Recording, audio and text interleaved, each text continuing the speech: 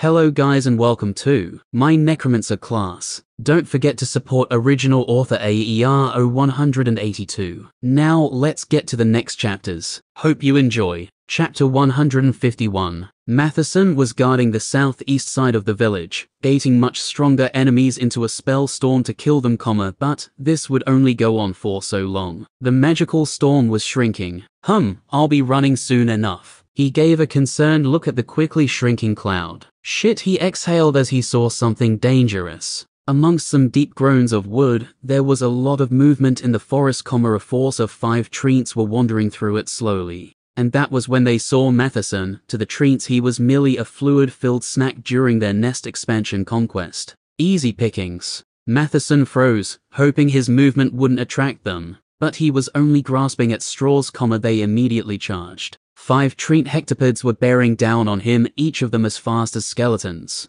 As part of his training, Matheson had been running all this time, comma, sprinting up the hill to the Adventurer Association, running through Losler to dungeons, running around inside the dungeons. His dexterity stat was also quite high too. It's where he put most of his points due to his rapier class. But he was still nowhere near as fast as these creatures. They would catch him, it was only a matter of time. Meanwhile, the storm was shrinking rapidly. He simply couldn't rely on it any longer. Against five of them he only had one choice, comma, to run. There was no wall around Losler, and no fences either. Matheson could simply run right in between the houses, and let the treants smash and destroy the peasant houses to their heart's content, while he easily escaped. Hum, he considered it for a moment. He truly didn't care about some weak peasants, comma, but he remembered what his father was like. I would definitely be blamed for that, and my father would find out eventually. He would find a way to punish me, perhaps take away my weapons just to slow down my development TCH. Seems like I have no choice. He gritted his teeth and sprinted off, comma, but not between the houses to safety. Matheson wouldn't have minded if the creatures did smash up the dirty looking houses of the peasants,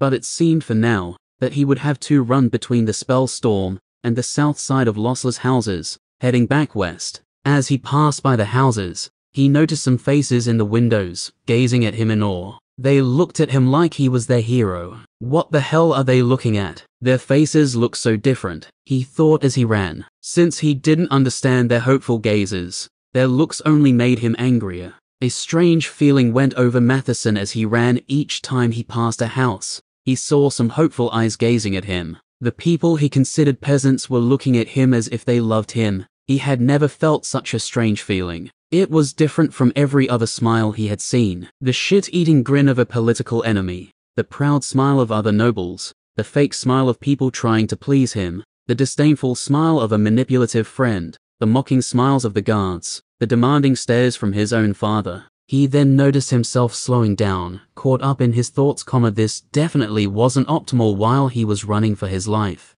Ugh, foolish fleeting feelings. Strength is all that matters. He reminded himself, gritting his teeth in anger as he picked up the pace and sprinted faster. This seemed to do the trick, comma, the combination of anger, pain and focus made the uncomfortable feelings go away. Thankfully, the south path was coming into sight, and there were guards there too. Ho! He yelled, but due to his rapid breathing, all that came out was a ha. The guards were all quietly preparing for battle. The storm spell would be over soon, and they would have to fight. Some checked their weapons, others chatted, while some simply lay down. Still, it was enough for them to turn their heads to the weird yelling sound. Each of their eyes bulged as they saw Matheson, comma, a young adventurer with five treants bearing down on him. Shit, get up. One yelled. He went to wake up another who was lying down. Huh. The one lying down opened one eye before raising his head up slightly, seeing the fear on the guard's face. Why is he alarmed? He wondered.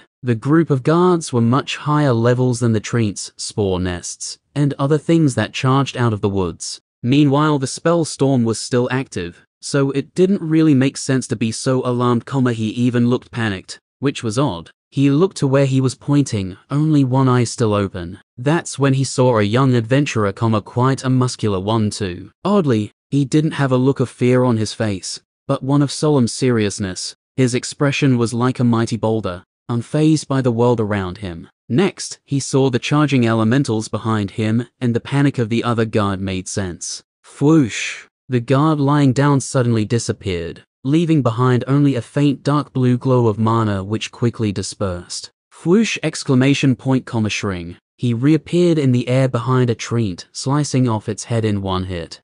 Whoosh! On the whoosh. He quickly disappeared and reappeared in between two other treants, slicing at their many legs. Unfortunately, it didn't count as a sneak attack this time, so it didn't critically strike, comma the treants stopped charging after they slowed down at least, and thankfully, he grabbed their attention. It's in your hands now, the teleporting guard said quietly as he helplessly shrugged, reaching his limit for teleporting for today. This left two more treants charging at Matheson, but it wasn't looking good for him, comma the guards were fast, but not fast enough. As Matheson heard one getting close, he immediately pulled out his rapier and dodged to the side. Had he not dodged, he would have been pierced by two pairs of antlers, so instead he opted for one pair. There was no way he was dodging both of them. The sharp branch-like tendrils pierced into his side. Ugh! He tried not to scream, only gritting his teeth and growling as blood poured from his body, comma screaming was for the weak. Of course, he was not done yet.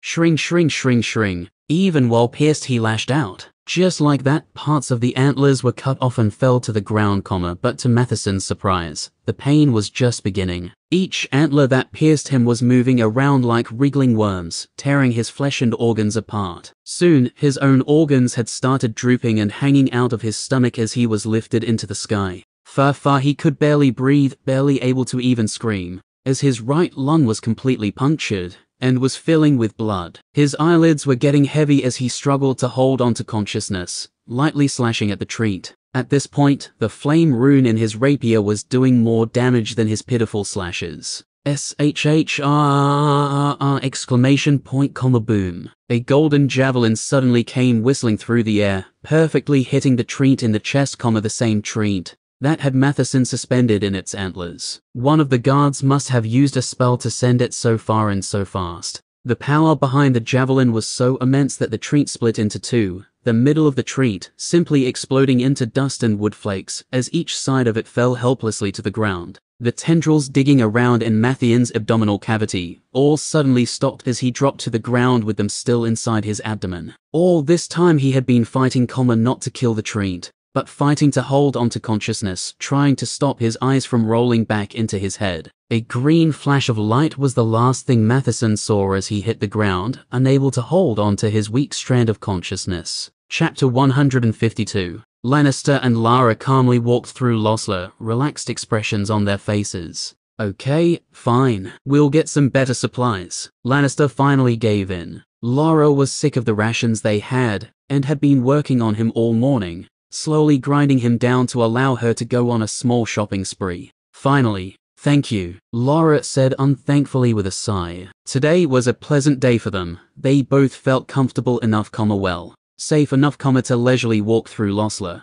After scouting for a few days, it seemed that this wasn't some elaborate trap to capture, torture, and punch them after all. Both of them were not the slightest bit surprised by the wood elementals. They knew everything that was happening in Lossler as well as in the surrounding forests, comma, who, do you think were the ones who warned the guards of the elementals coming in the first place? Today they plan to meet with Sullivan, who would hopefully be expecting them, as the note they warned the guards with about the elementals was written on the exact same paper that Sullivan had sent to the mirror reality. There was no hidden message or magical mark on the paper, comma, that would be too obvious. It wouldn't take a genius to detect some slightly concentrated mana coming from the paper. In fact, it's usually one of the first things they check for. The elite duo began to walk to a few different shops in the town. Despite the attack happening, most of the shops were still open. It seemed the locals completely trusted the Lossler guards. Herbs, coal chunks, needles, beeswax, tinder, and various other things were on the long list of Lara's small shopping spree. Oh, a butcher. Lara smiled. She didn't so much as glance at Lannister before walking inches. Hello, how can I help? Trenly greeted them. Hum Lara's eyes looked over the products they had, surprised by the variety. Those sausages look good, I'll take eight please. Sure thing. Trenly smiled, happily wrapping them up with some paper and twine. He was glad that there was at least some business today. It had been pretty slow because of the battle comma, but he expected a rush of guards later in the day though. Lara paid and left as quickly as she came. Now the pub, she thought, secretly glancing at Lannister as she led them towards it. Thankfully, it was mostly on the way towards the Adventurer Association, so it wasn't too suspicious. Hey, I've got to use the washroom, hum. Oh, a pub, give me a moment. Lara said as innocently as possible. Uh, okay, I'll wait out here. Lannister sighed, leaning on a tree. Lara nodded and began walking inside, her crafty smile growing larger with each step. Well, hello there, young lady. A bald mustached man smiled warmly. He greeted her as soon as she opened the door, immediately putting down the glass and moving closer to the middle of the counter, keen to serve the pretty young lady. Wow, what great hospitality you have here. She smiled and approached the counter. Of course, of course. Now, how can I serve you? His eyes sparkled as he looked at the beautiful young woman before him. I would like a beer, please. Anything you have will be fine, I'm sure. She smiled back with a wink. Sure, and since you're new here, I'll give it to you for free, on the house. He chuckled, pouring the beer as he continued to smile and stare at her. Wow, what a kind and caring man. She played along. Won't you join me for a beer? Devon smiled even more broadly at this, quickly pouring himself a drink, comma, but before he could even take a sip, the young lady had already finished hers. Huh, he wondered, seeing her frown. Or, Sorry, I drank it too fast. She sat silently for a moment, making puppy dog eyes. Devon was ready to have a beer with her and share some conversation, comma, maybe it would lead somewhere. That's what he thought anyway. Oh, well, I suppose I can get you another. He smiled, though a little reluctantly. Hook, line, and sinker, thought Lara, having manipulated him into giving her two free beers so far. Thank you so much. She looked at him lovingly, her puppy dog eyes turning to a bright sunny smile. After some more lies woven into some general conversation, some precise body language hinting at something, she had already finished her second beer. Oh no wait, let me pay for another hey I have an idea. I'll buy you one too. She cutely chuckled. Devon happily went to pour another two beers. After a moment, she pulled out some random items from her inventory, frowning each time. Devon was smiling, but it slowly faded, looking at her sorrowfully as he put the fresh beers on the counter. I'm sorry her eyes got watery. It seems I have left my purse at home.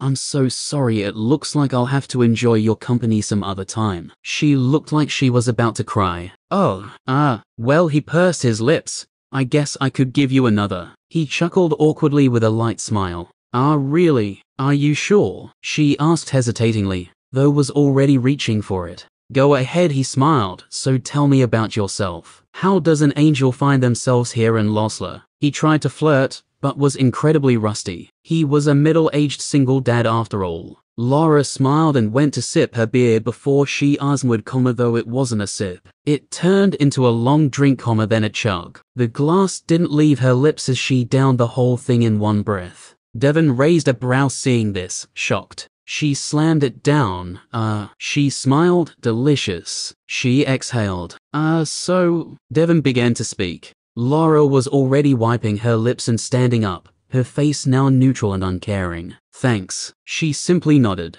Her eyes weren't even watery from when she pretended to cry. Lara's face suddenly turned emotionless as she stood up and quickly left the pub. Devon was shocked. He couldn't say anything as he watched her leave. WH what? What the? His chest felt hollow as he looked at the empty glass before him. He stared at the closed door for a moment longer before starting to shake his head in disbelief. Monster what a monster he shivered, feeling like he had been violated. Tap tap tap. He quickly looked up the hallway, hearing familiar footsteps, Tamara was coming. Devon grabbed the glasses with the speed of a Snickerovan and quickly rinsed them before cleaning them. He was breathing heavily now, not wanting to get caught. He thrusted them into some water to wash out the beer foam. Hey, good enough he thought as he began wiping them with his dish towel. Tap tap tap. He was still polishing one cup, but he froze as he heard her voice. Dad, you're drinking on the job. You're on cleaning duty now. Tamara smiled. I comma, I was not, I was just washing them.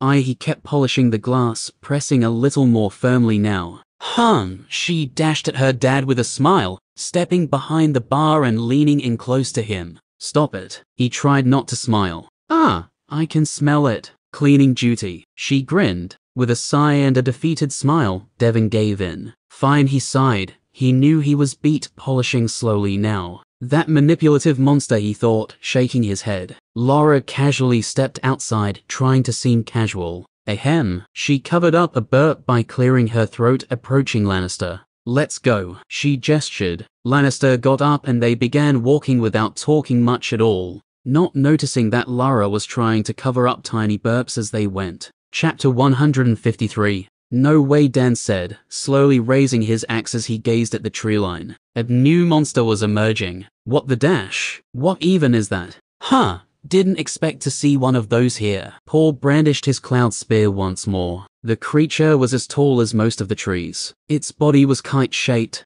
Large logs made a teepee shape around a glowing green core, with smaller branches and sticks, filling the gaps in between. Four thick tree trunk legs attached on each side of it, each of them thumping into the ground, every step slowly driving it forwards. There was an opening at the front of its body, allowing green light to wash out from the glowing green core inside. Its body was like a walking wooden furnace, comma of course. There was no fire inside, only the green ball of a plasma-like energy. Jay was not reacting to it like the other adventurers. He was quietly analyzing it, trying to figure out its weak spots, and planning an attack strategy for his human troops, comma he didn't picture himself attacking the creature, but others working together to bring it down. A necromancer was a natural leader and strategist, and it seemed that his mind was becoming more like that. Of course, there was some conflict in his subconscious human thoughts, comma a human necromancer, both wanted to work together with others, but remain elusive and solitary. Jay could think of a decent strategy in his mind, but verbalizing it and getting the human troops to perform it was another thing. Skeletons were much more efficient in this regard, comma they would respond directly to his thoughts, carry out the tasks Jay wanted, and would not question them at all. They would only ever disregard one of Jay's thought commands. If Jay had verbally commanded them, comma, his words held more weight. Wait here. We'll finish the nest spore, Paul said confidently as he walked past the adventurers with the other guard in tow. Nest spore, ha, one of the girls mumbled. The other guard followed him. They knew this was something only they could deal with, comma, it was the whole reason they were here, waiting behind the young adventurers. Technically, they were meant to deal with the treants too, but if the young adventurers wanted to test their mettle, they had no objection. Jay wanted to analyze the nest spore, but he was simply too far away. Paul and the other guard marched towards it, slashing leisurely at the stick balls and nestling gatherers as they went. The nest spore reacted to the approaching threat, stopping its march forward as the green ball of chaotic mana in its belly began to glow brighter, filling with energy. Paul and the other guard paused their march for a moment, it's harmless, Paul said as they kept marching, comma it seemed they were analyzing its skills, checking that it wasn't a threatening spell. Duo. A pulse of bright green energy suddenly rippled out across the battlefield, comma all. The wood elementals froze. The nestlings stopped skittering and the stick balls stopped rolling. Paul didn't seem to worry too much. He kept clearing a path right to the large wood furnace. Next, the whole battlefield changed, comma the balls and nestlings all suddenly began moving towards the large furnace. At first they moved slowly and orderly, but it wasn't long before it turned into a mad rush, trampling and rolling over each other. Everyone could guess what would happen next, comma they tossed themselves straight in. As their bodies entered into the furnace they immediately disintegrated. Their bodies turned into floating bits of sticks and twigs, before dissolving in the green energy. The green ball of energy inside raged chaotically, as it hungrily ate all the elementals that rushed in. The more that entered, the more it hungered and glowed. Suddenly, the furnace structure closed as multiple branches covered the front, stopping any more elementals from entering. Still, the nestlings and stick balls were trying to get in. It was like they were magnetized to whatever was happening inside. Paul didn't look too worried as they continued to approach it, though they were forced to walk a little more slowly as the swarm of elementals had grown thicker around the nest spore. Dune. With a deep thud, the nest spore's four legs suddenly dropped its body to the ground, crushing other elementals beneath it. Finally, the branches across the front opened. Its internal green fire had died down back to normal. From out of the mouth of the furnace, a large teardrop-shaped seed grasped at the edges, clawing its way out. It had four of its own legs supporting it, though these were much more spindly and skinny, like young saplings. It seemed that it wasn't meant to walk very far before its legs would become redundant. As it exited the furnace, it had to push back against and even crush some of the stick balls, so it could leave Comma it was the only elemental that was moving away from the belly of the nest spore. It fought against the elemental tide as it walked away from the nest spore. Finding a nice piece of earth, it thrust itself into the ground. Each of its skinny legs then poked up into the sky, sprouting small leaves. Quick, before it grows, Paul pointed, gesturing to the other guard. The other guard nodded, quickly slicing through the tide of wood as he made his way towards it. He reached it just as the leaves began to grow from its upwards pointing legs. The guard didn't use his personal weapon for this. It was below him, comma, he merely relied on his strength as he swatted and slashed at the elementals. With his heavily abused metal spear, that all the guards were given. Dune, a vertical slash made a large dent in it, pushing the large seed deeper into the ground. Next, a piercing thrust, comma, he easily bore a hole straight through it. This seemed to do the trick, as all the leafy legs which were pointing into the sky fell to the ground and wilted. The seed was killed before it could even grow. Paul was already casually slashing at the outside of the nest spore. Chunks of wood were cleaved off with every hit, comma, only to be replaced a moment later. Paul didn't panic though. He simply kept slashing. Another one he called to the guard as another four-legged seed exited the furnace while more stickballs and nestlings hopped right in as if on cue. The guard intercepted the second seed before it even planted itself, ending it in one hit. It seemed like he knew what to do as the guard made it to the mouth of the elemental furnace, comma the next seed was pierced and destroyed before it could even leave. Next, he began to kill the stickballs and nestlings before they could even dive into the chaotic swirling green energy inside. Paul only nodded, continuing to hack, stab and slash at the outside. Chunks of wood continued to rain off the creature, though they still healed right back. The nest spore was dying though, as the energy inside it got less chaotic and less bright. The more Paul hacked at it, the smaller it got too. Soon enough, its wooden body stopped healing. All four of its legs were hacked off, and the light inside it dwindled. With a few final slashes, parts of the furnace wall opened up, allowing some nestlings to jump in. Finally getting to consume more wood, the green light at the center of the furnace grew brighter for a moment, but healed the walls of its body up. Paul looked somewhat dissatisfied seeing this, realizing he had to use more power. He didn't want to use an ability on such a weak creature, but it seemed he had no choice. It simply regenerated too fast. Chapter 154 Looking a little displeased, Paul was forced to use an ability on a nest spore. The ability was far too powerful for such a low-level creature. It felt even a little embarrassing to use it. It felt wrong. It would be like Jay using an unstable tooth spell against an ant. Energy coursed through his hands and into his weapon. His deep blue cloud spear began to radiate with energy, appearing like it was fuzzy for a moment, comma, then suddenly four other copies of it appeared in the air, floating around it. The spears all seemed to be possessed, having minds of their own, as they all began to wreak havoc on the poor wooden furnace. Slashing and thrusting recklessly, each of them were chaotic, as chaotic as the green energy within the helpless elemental they were destroying. For the nest spore, it was simply too much damage to cope with, comma, and much too fast.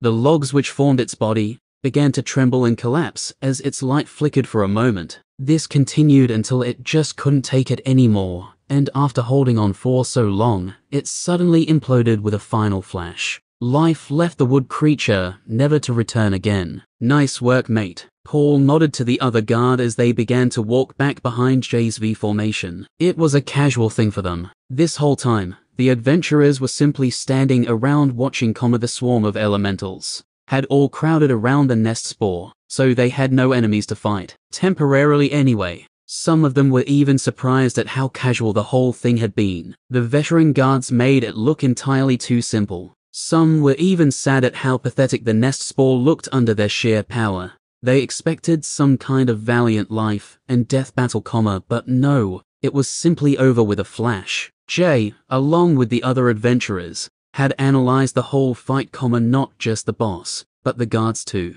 Paul and the other guard didn't panic. One of them gave simple orders as the other followed them. They had remained calm during the whole fight, quickly dealing with any problems that sprung up during the battle. For some of the more novice adventurers, it was an eye-opening experience. Typically, they would panic as soon as one unforeseen event happened during a dungeon, comma the worst of them, acting like Peter, who would turn a simple situation to shit. Jay and his human troops now had to deal with the fallout. The nest spore had not only drawn the elementals in Jay's field towards it, but also from the two fields on each side of them. The other fields were barely left with anything to fight, comma some of the adventurers from the field on the right, comma the disorganized bunch, even looked on with sneering glances. To the field on the right, it was a good thing, as each of them had been struggling desperately since the beginning. Ignore them, Jay said, seeing Conroy he was being distracted by their glances. PF, yeah, they couldn't even bring down a treant. What do they know? He chuckled as he readied himself for battle.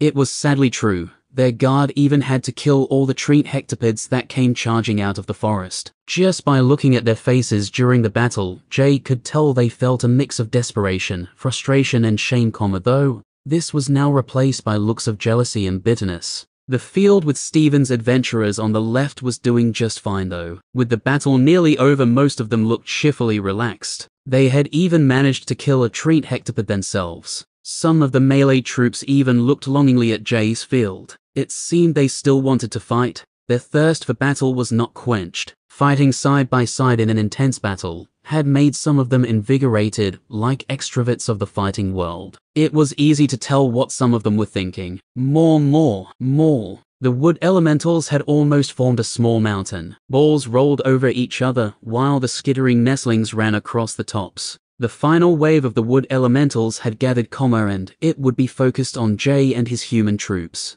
There were still more waves of wood elementals moving against other parts of Losla, but it seemed that the weak ones of the northwest had been successfully crushed. All that was left to deal with was this single large wave of enemies. Miss Keep, Level 3 Dungeon, Losla, Scree. Pain, intense pain. It was the last thing the Dehexapod Soul Eater felt before it died. Perhaps it was a good thing, comma, the only other things it felt were loneliness, hunger and an empty feeling in their souls. Their hearts cried out for something that they couldn't comprehend, consuming their own kind soul stones, found at the center of the stone statues, would at least make two of these feelings go away, for a moment at least. It was a torturous existence. The Dehexapods sensed a familiarity in the stone soldiers, and a sense of longing and sadness moved through them each time. Still, it didn't matter now. They had become monsters as they lost their minds to time, Waiting in the darkness, comma meanwhile the stone soldiers had become their enemy, their own minds similarly broken. Perhaps they were not so different. However, whatever familiarity they had and whatever bond they held was broken, lost to time. All that remained was emptiness and hunger. One thing had changed in these unchanging cursed lands. There was a new enemy, comma the undead. The undead in this dungeon didn't discriminate, ruthlessly hunting both the soldiers and dehexapods alike. It was like they were slowly carving out their own territory which would become a no-go zone. What was odd was that it made no sense why the undead hunted them, comma they barely had any bones or flesh left, meanwhile the stone soldiers had none, nothing the undead could want, comma yet they were all cold. It was like they were purely driven by hate. Intense, cold, uncaring hatred. The four skeletons were slaying them with brutal efficiency, comma it seemed like they were even made for this. Perhaps some higher intelligence had even trained them. First, the carapace of black stone would be shattered by their iron bone hammers. Despite there being four skeletons, they would always hammer at the exact same spot, like they were being guided. If the dehexapods could still think properly, they would have a single thought when fighting them. Where did the undead get fucking hammers and armor from anyway? After a big enough hole was made in the carapace, the skeletons would give up the hammers and use their claw-covered hands, plunging them deep inside their weak black flesh to shred, destroy and extract whatever they could. Somehow, the skeletons knew exactly where to grab every time they would coincidentally find one of its black hearts. As they ripped, tore and sliced one of their black hearts with ease, the dehexapod would take massive damage. The claws on the ends of their skeletal hands were as sharp as their killing instinct. It was like they knew their anatomy. Just how many dehexapods had fallen victim to these skeletons? As the creature would fall to the ground, three of the skeletons would scramble to higher ground on the ruins, comma, looking for their next target. Without so much as a breath, the soul stones were extracted by a single skeleton, and the hunt would begin again. Every vessel of consciousness was a target in this dungeon, and soon those vessels would be broken. There was no such thing as rest to the undead. Chapter 155. The elementals now had one motive, one drive left in them, comma revenge. They didn't care too much about their physical bodies. They could just get another comma, but the treant slain would never rise again. They were bound to the wood. The nest spore was also something that took a lot of time and a lot of cooperation to construct. The elementals weren't foolish beings, but when they inhabited their wooden bodies, they became limited. It was not like they were half wood and half elemental in their wooden bodies. They were still 100% elemental, and at the same time, they were 100% wood, comma, they simply didn't have all the capabilities they would normally have while in their spirit forms, such as higher intelligence. Still, their emotions would respond the same, and right now they felt rage. Without warning, the elementals went for the closest targets they could find. The wave of elementals crashed against the small group of young adventurers, tossing aside any self-preservation as they smashed against them. Brah! Dan the Axeman welcomed the wave of enemies with a roar. Ah, let's switch out again, the glaive guy said, ruining the glorious atmosphere by hiding behind the mace shield guy. Anya had returned to her position on the right of Jay by now, and was already sending bolts across the field, ending the nestlings in one hit. As for Peter the lanky bow guy, well, needless to say, he was out of the battle now. The pain must have been too immense, as all he could do was shake helplessly after his body recovered. The traumatic stress event had ruined him, and he was out of action for now, perhaps, even for the next few days, maybe even weeks, well, who knows how long. The guards expected him to start fighting again after a moment of shaking on the ground, but it turns out he simply couldn't, so they brought him to the back of the field with them. Peter would just get in the way otherwise. Thankfully, there were no more treant hectopods to deal with, comma, just a massive swarm. The real battle started with wooden barbed hooks flying viciously across the battlefield. Most were blocked or parried, comma, as for the ones which did land, they were immediately cut at the segmented vine cord. Much more of these hooks were coming at them now, since the nestling gatherers had all grouped up. They also seemed to be attacking faster, comma, some of the adventurers watching correctly guessed that the elementals wanted revenge. Clang, Omathwong, Omadun. The shields were doing an excellent job at blocking them before, but now there were simply too many. Many elementals were being slain, but the battle only got more intense. Ah, the glaive guy grabbed his shoulder in pain, a hook penetrating deep into it. F fuck, help. He was slowly pulled into the swarm as he grabbed at the mace shield guy in front of him. Hey, stop panicking, the saber girl yelled. The glaive guy grabbed at the mace shield guy, trying to push him into the swarm in a panic. The mace guy couldn't turn around as he was busy blocking hooks left and right, comma, and this was only made harder with the glaive guy pushing him forward into the swarm. He was like someone who couldn't swim trying to push someone else underwater, so they could keep themselves afloat, comma, it would only serve to drown both of them. Of course, the simple solution would be to trust the person who could swim, but panic had gotten the better of him. He couldn't think clearly at all, as he continued to push the mace shield guy forward and they were beginning to separate from the group. Jay watched this and began to feel furious. It was a stressful situation made worse. Just let go of him so he can cut the cord, he yelled out. The glaive guy had no answer, his eyes were fixated on the hook in his shoulder, and the nestling slowly reeling him in. Jay decided that he had enough. He could have dashed in, he could have resolved this situation, and bore the cost of this fool's mistakes, taking pain and damage. Of course, the Saber Girl and the Dagger Girl will have paid a small price too, taking some extra damage without Jay there. Jay pitied the mace wielder, but made a decision. Leave them, let them perish. They're as good as dead, he said loudly to the whole team, comma loud enough so that the mace guy could hear. Paul watched on from behind with a sly smile. Next, the mace guy stopped attacking and turned around, comma he took a few hits from the stick balls for this. But it would be worth it. The mace guy immediately shield bashed the panicky glaive guy. The glaive guy's loose grasp on the mace guy was released, comma of course.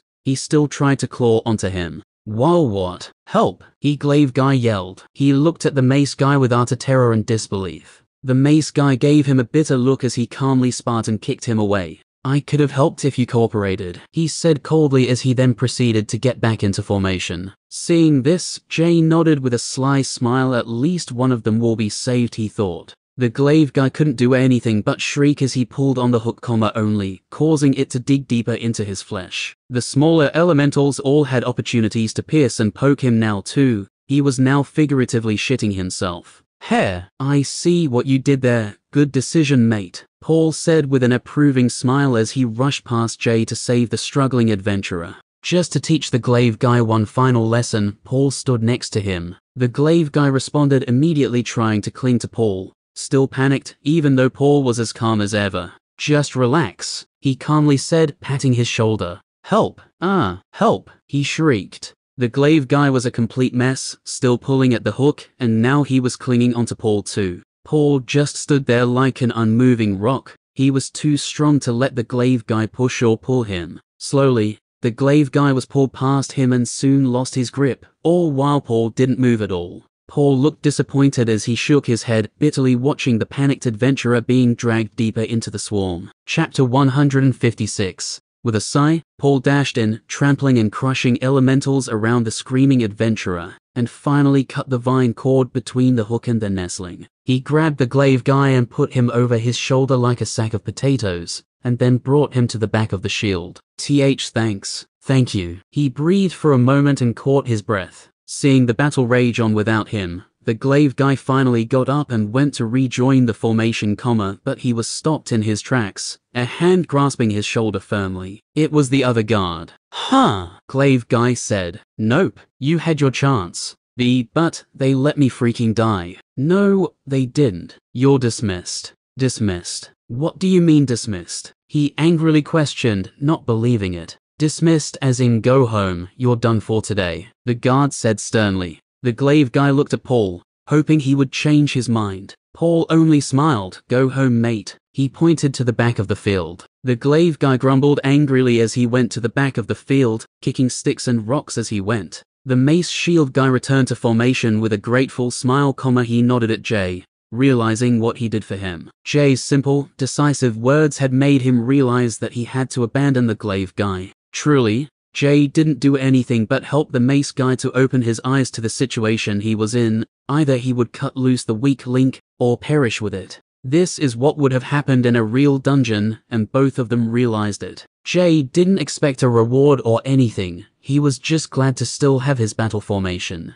Think you can switch out with him for a while? Jay asked Saber Girl as the mace shield guy came back. Sure, she nodded. The Saber Girl had her own shield, so she could deflect the flying hawks as well. Ah, shit. I need a hand. Conroy, sword shield guy, said, trying to stay calm. However, you could tell there was some urgency in his voice. A hook had dug into his leg, causing him to stumble for a moment as he was pulled. Just a sec, Dan said, deflecting a hook with his axe. Schwunk. He stepped forward with a quick swing, and the cord was severed. Conroy and Dan hastily moved back into formation. That's what should have happened before. The dagger girl nodded approvingly. Jay was just glad that at least a few people on his team were competent. The mace shield guy wasn't even that bad, he just had a bad teammate. Hum, it's interesting how one idiot can turn a simple problem into a life-threatening situation. Jay thought, casually slashing the stick balls. Throughout this whole fight, Jay had kept his cool. Even when he was being drained and he couldn't see anything he stayed calm, still slashing away.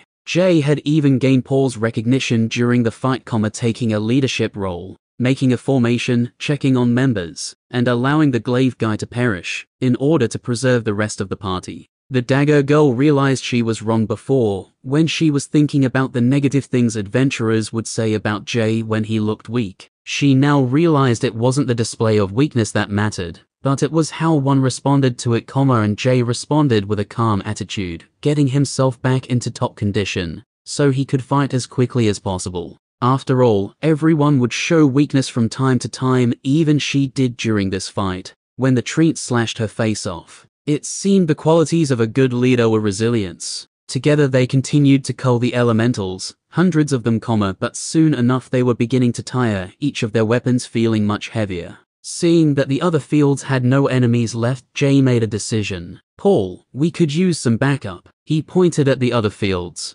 With a nod, Paul went to grab some adventurers from the other fields. Four adventurers followed him back, comma, he brought enough to take some pressure off, but not to make it boring. With him, Stephen tagged along, Following them was a ranger to replace Peter and three more melees. Approaching the group, Jay had the three new melees replace himself, the axeman and the mace man. The fresh ferocity of the new adventurers gave them all some breathing room. Now that the team was larger, Jay had control of over 11 people, so he decided to make a new formation. Jay moved safely behind the formation and began to organize them all. For a moment he considered a triangle formation pointing into the swarm, opposite to his V formation. It would break the tide of elementals easily, comma, but that would only be effective for strong enemies that wouldn't die in one hit. What they needed was simply to increase their killing area. With Stephen, Dan, Conroy, the mace shield guy, the new ranger around him, he started to tell them the new battle formation. He expected Stephen to challenge him, but to his surprise, Stephen stayed quiet and simply went along with it, nodding each time. Huh, Jay thought, surprised at how different he seemed. The dot V formation turned into a dot dash. Dash. Formation with Stephen and his turrets in the middle. Jay, Dan and Conroy would be in the left melee group, while the Maceman and the three new melee guys would be on the right. The Saber Girl and Dagger Girl would act as support to them, comma, either cutting off hawks or filling in for exhaustion. The Rangers would be divided evenly on either side. Jay switched out the others who were still in the V formation, so they could learn the plan. After that, it was time to execute. Ready? Jay called out. Yep, yes. Yeah.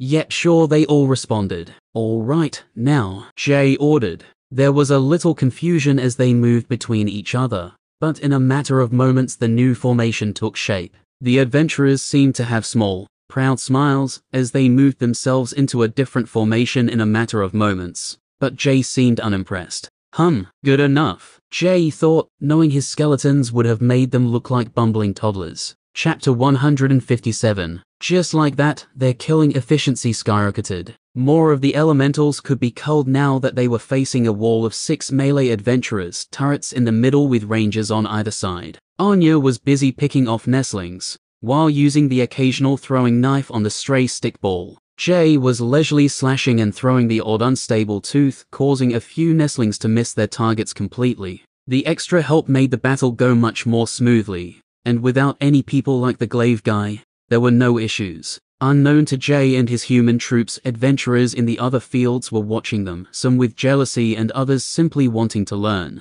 They still fighting. Yikes. Oh, Jay's not really that strong. They all look so bored. They're not bored, they're focused. Adventurers gathered at the back of the field too, Paul having to hush them a few times. The once threatening wave of elementals was easy to deal with using the right formation, and their numbers plummeted. The last stickball rolled towards the fearsome adventurers over many of the corpses of its own brethren. Shring finished with a single hit. Jay and his formation looked around for a moment, waiting to see if there were any more enemies, not expecting the battle to be over so quietly. It was surprisingly easy. Hey, we did it, the dagger girl said with a smile. Gralea. Dan yelled, holding his axe in the sky. Other adventurers simply caught their breath. Finally, I can go back to the dungeon. Jay thought, not saying it out loud, comma, he didn't want to discourage anyone who thought this was some huge accomplishment. Thanks for trusting my orders, Jay said as he went over to look at the remains of the nest spore. Some of the adventurers gave thankful smiles as he left them, a deep feeling of gratitude, comma, it was because of Jay that they not only got more X,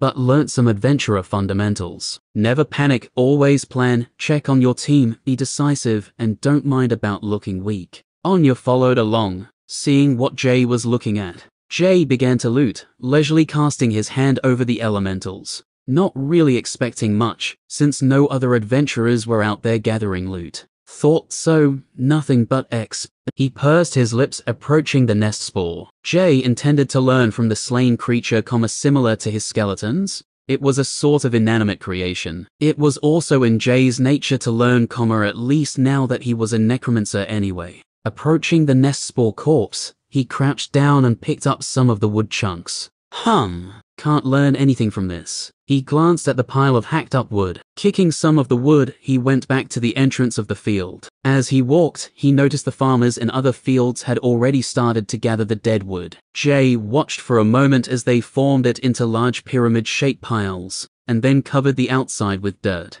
Hum, what are they doing? The farmers weren't the only ones after the wood elemental corpses. Similar to Jay, other adventurers were also checking over the treant hectopod's dead bodies, looking at their antlers and strange jointed wooden legs. Thankfully, Paul was hanging around for a while, still looking after Peter and deciding if he should take him back to the association. Nice job, mate. Probably the best group here today. Paul nodded with a smile. Thanks, all in a day's work, Jay said casually, shrugging with a slight smile. Here, here, I saved this for you before other adventurers could get to it. You deserve it. Paul pulled out a large pair of wooden antlers from his inventory. They're not worth much, but they look kinda cool, he said as he held them out. Oh, cool. Thanks. Jay had a look at them before stashing them in his inventory. The antlers were large and majestic, ending in threatening spikes. They were made from the incredibly dark brown wood like the rest of the treant. Jay guessed they would probably take up the whole wall in his butchery,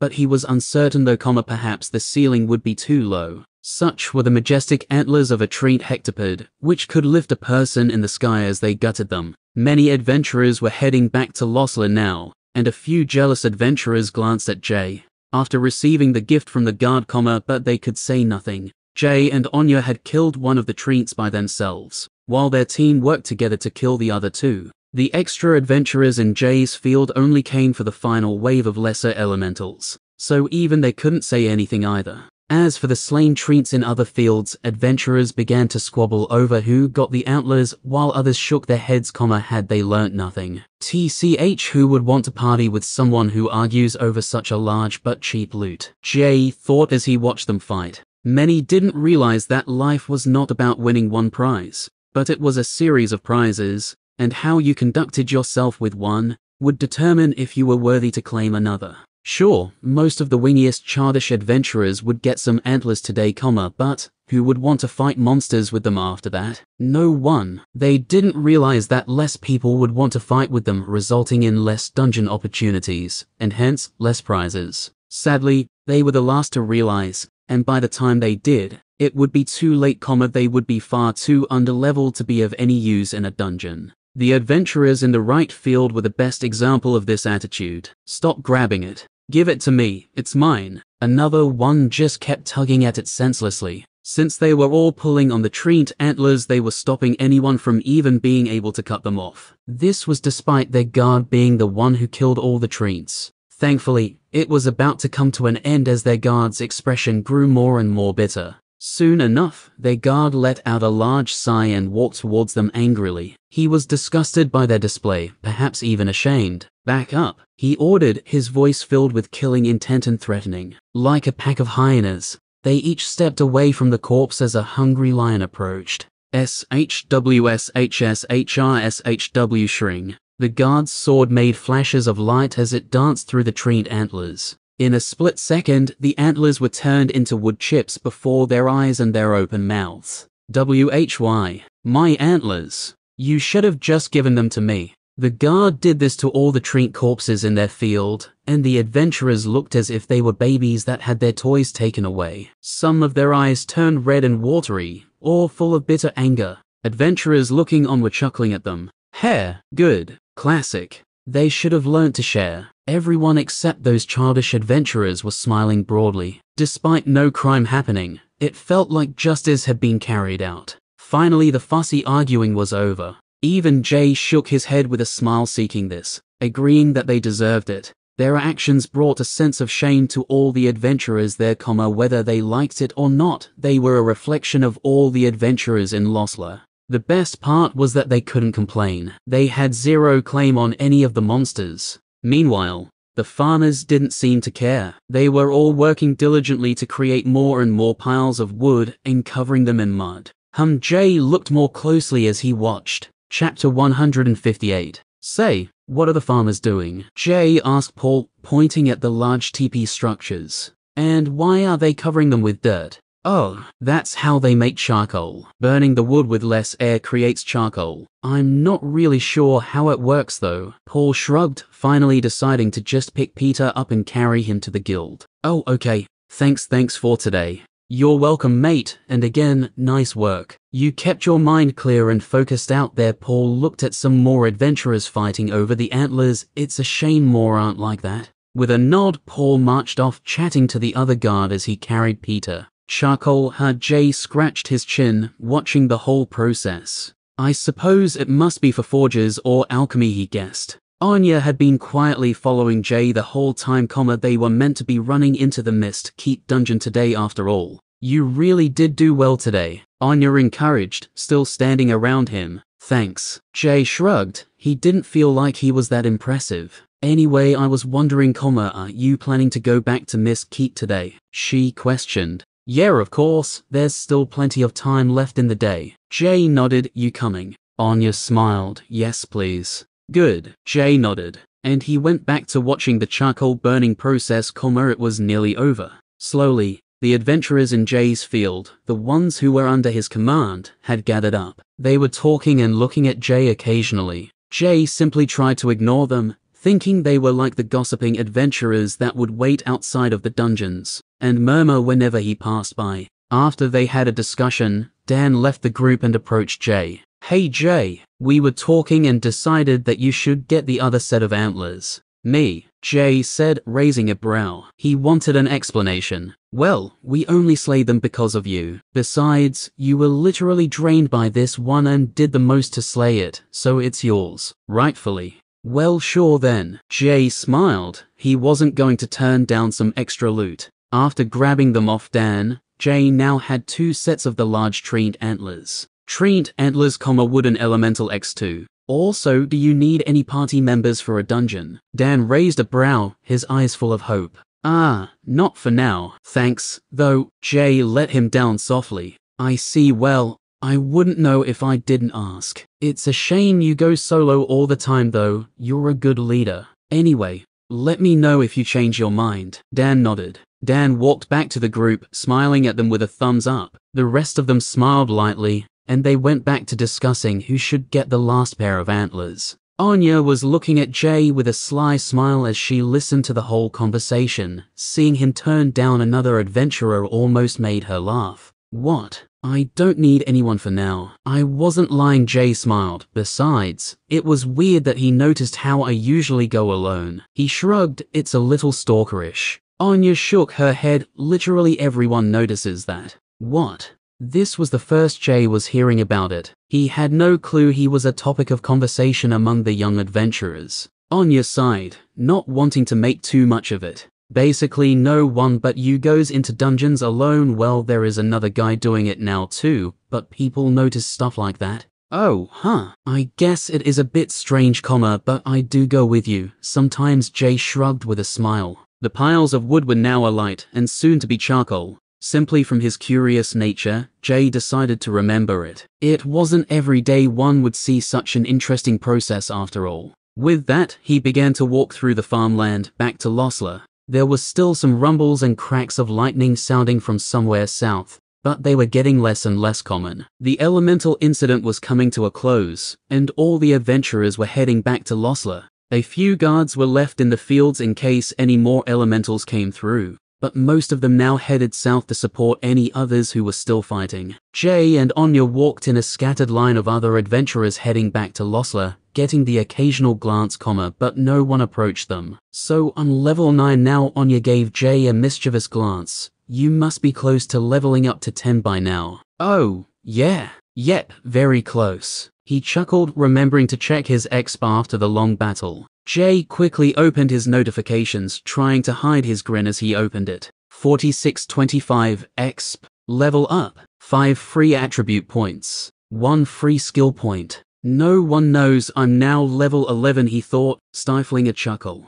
Now, let's see I already decided to put 5 points into energy, so I can summon skeletons endlessly. Well, for a longer time anyway. Jay quickly dumped them into energy without a second thought, it was still clear in his mind how close he came to losing a battle with Estoba. If he ran out of mana slightly earlier, it may have been over. Jay and Anya walked back quietly. Most would think they were bored. However, Jay was considering where to put his ability point. Hum, I could have five level 4 skeletons, or four level 5 skeletons 4 times 5 is still 20 either way. Hum, The skeletons are all still level 3 though. I shouldn't have waited to spend that other skill point. I think it'll be better to have an extra skeleton until they're all level 4. Otherwise, it will just be a waste, comma, why raise their max level to 5 if they're not even 4 yet. With a nod, Jay added another point into his raise skill. Raise feeble creature level 4. Raise feeble creature level 5. Raise feeble creature level 5. Imbue a small skeleton with necrotic energy, raising it to fight for you.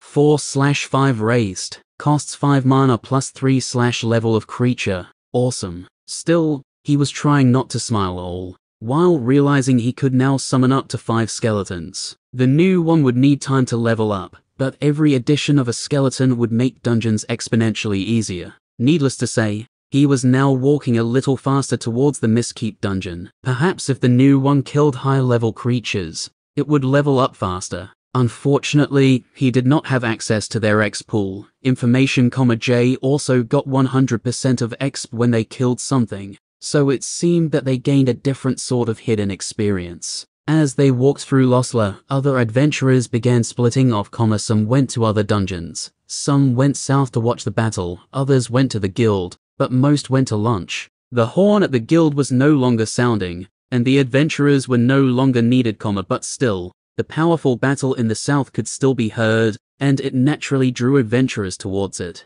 Jay and Anya ignored everyone else as they proceeded with their plans heading straight into the Mistkeep dungeon. Chapter 159. Out of the hundred or so adventurers, only a handful of only the most dedicated were going to Mistkeep to continue fighting. As they arrived, it seems that Dan, Conroy, the mace guy and the composite bow girl were there, having formed a party after today. Jay and Anya only nodded at them as they went in themselves. Stepping into the dungeon, they found themselves next to Estoba's throne. The pyramid was still opened up, split into two halves, and the dark inside seemed to almost welcome the dreary light from the sky, along with the warm adventurers. Okay, so Jay was cut off. What did you do? Anya was shocked. We're at the third pyramid, right? She then talked to herself for a moment as she looked around. There's no way this is the fourth. No one is that quick, so it has to be the third. But it can't be you're not supposed to be able to enter back here. It's not meant to be conquered. Anya remembered the conversation she had last night in the guild mess hall with a guard. She remembered what the man said. You can't teleport to the third pyramid because you can't conquer it. She had planned to explain it to Jay with a hint of satisfaction, comma, but no, instead she was the one who was shocked.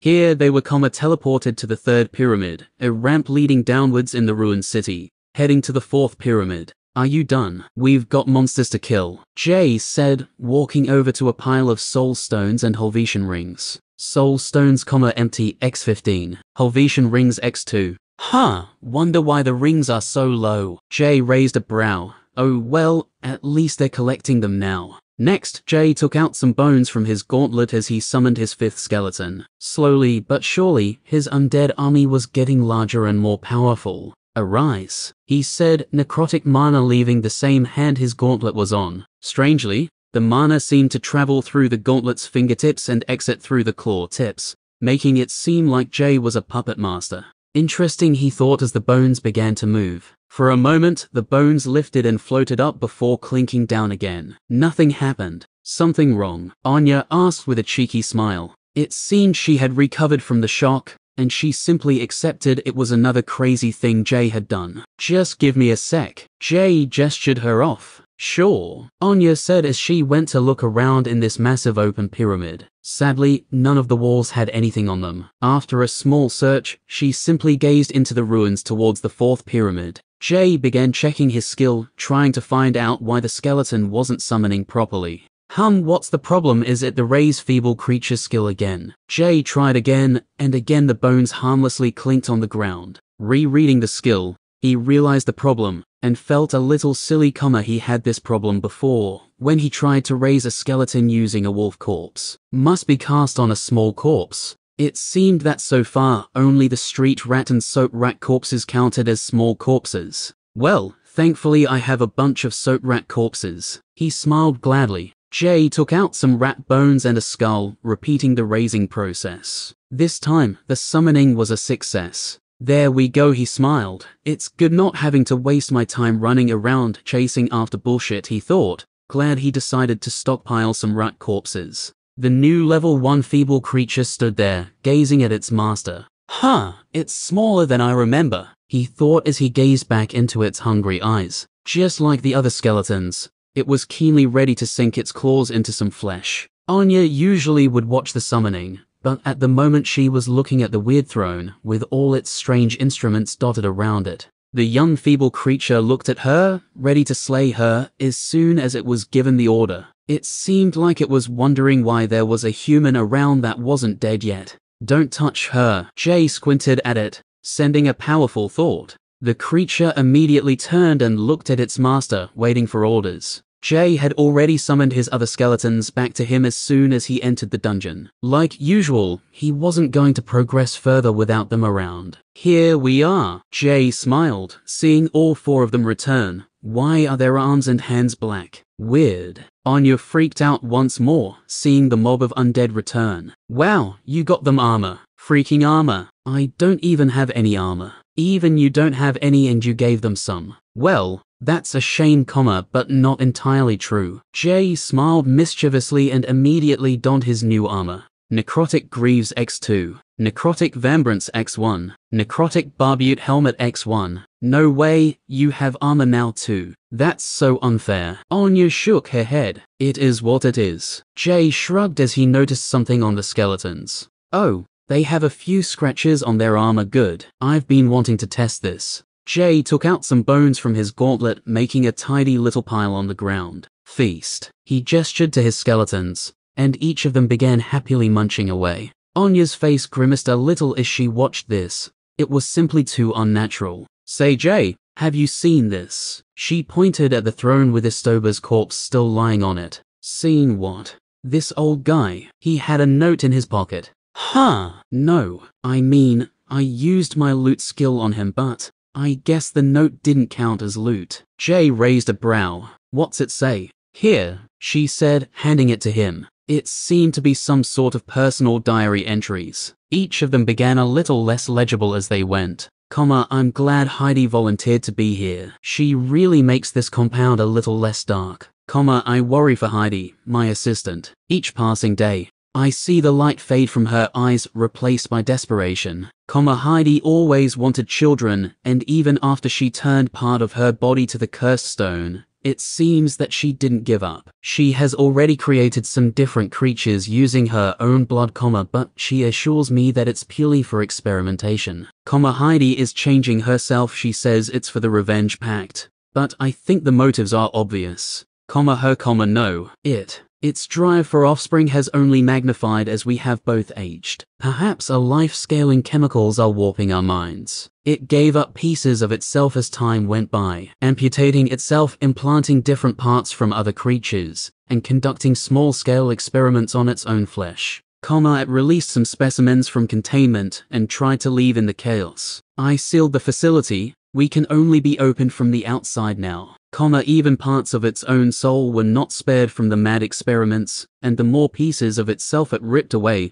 the madder it got. Comma, slowly it began adding parts of its experiments back into itself, eventually becoming the abominable beast that it is today. It's hard to tell if it's still alive, and I don't think Heidi is still with us. Comma, it released more specimens, then killed some soldiers. It's truly not human anymore. I have locked down the facility. No more experiments, comma, we have failed. Comma, I will sit here on my immortal throne, and will keep the pyramid locked down until the end of time, or until the stone guard saves me. If any of these creatures get free, our chance of revenge is lost. Perhaps everything will be lost, comma, not that we had much left anyway. Comma, the pact must live on. Long live Helvetia's revenge comma, it's making me mad, the constant scratching, comma, chemicals, I love chemicals, feel good good. Jay took a big breath in after reading this. Fuck, so that's what it was also why it was mad enough to give half its soul up, he thought. Pretty damn tragic, I suppose even emptiness can turn some people into monsters. While they don't start out that way,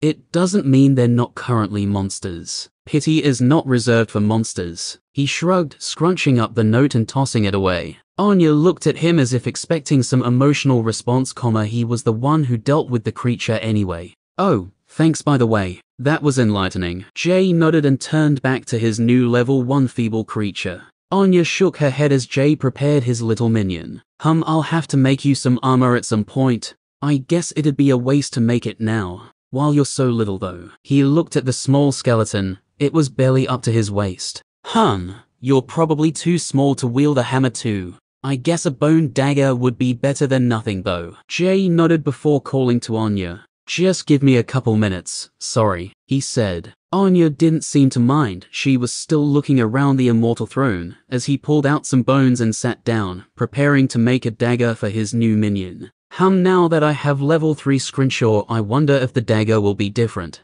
Chapter 160 Jay sat cross-legged as a new instrument floated down before him. A fresh bone dagger with a dark grey streak through it floated down before him as he received a notification. Success, comma recipe upgraded. Oh, Jay smiled. Well then, let's see the new dagger.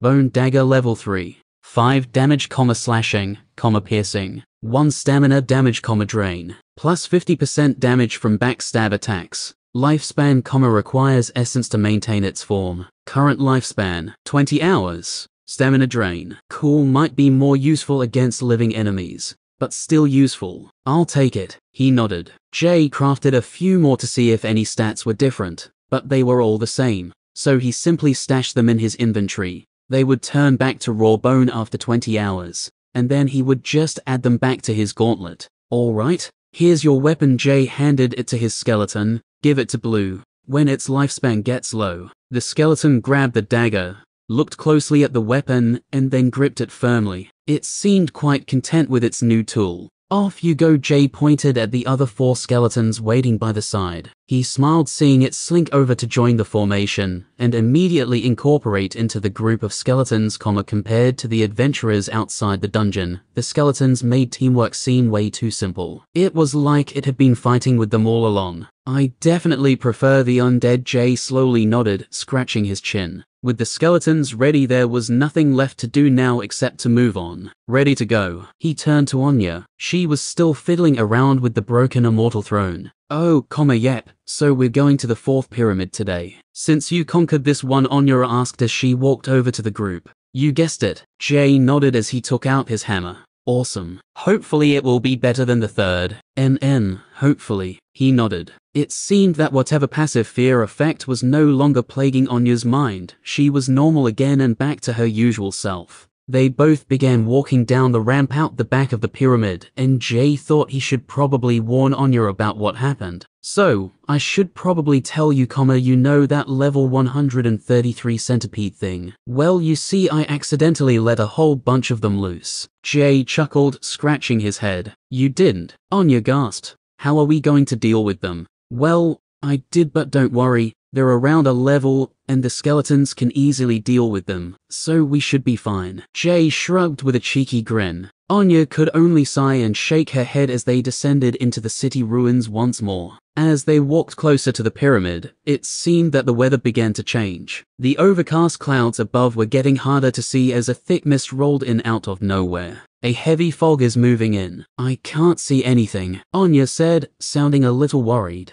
Don't worry, the skeletons can see through the fog. Just try not to accidentally hit them. No promises. She shrugged, returning Jay's cheeky grin back to him. Distant cries, shrieks and echoes of pain filled the dungeon as they walked through the thick fog, coming from some other places in the ruined city. It was a cursed land that had somehow become more dangerous now. It was tense now, as the Dehexapods were roaming around, comma, quite different to the predictable behavior of the stone soldiers. It was hard to tell how many Dehexapods were released, but they both felt like they were walking around in a nest of them, comma, some cries were even coming from behind them now. There was a chance they were somehow breeding or leveling themselves up by slaying the Helvetian soldiers fighting each other over the soul stones. Perhaps they were even eating each other. Jay was only concerned about one thing. Were they lone hunters, or did they work together in hunters packs? If the latter was true, things could get difficult. It would be troublesome to deal with many of them rather than one powerful one. He still had to protect Anya too, and in this fog, it was even getting hard to see her as she walked only a few meters alongside the party. Sometimes Jay would still remember the tense feeling when Sullivan ordered him to protect her. It wasn't explicitly a death threat,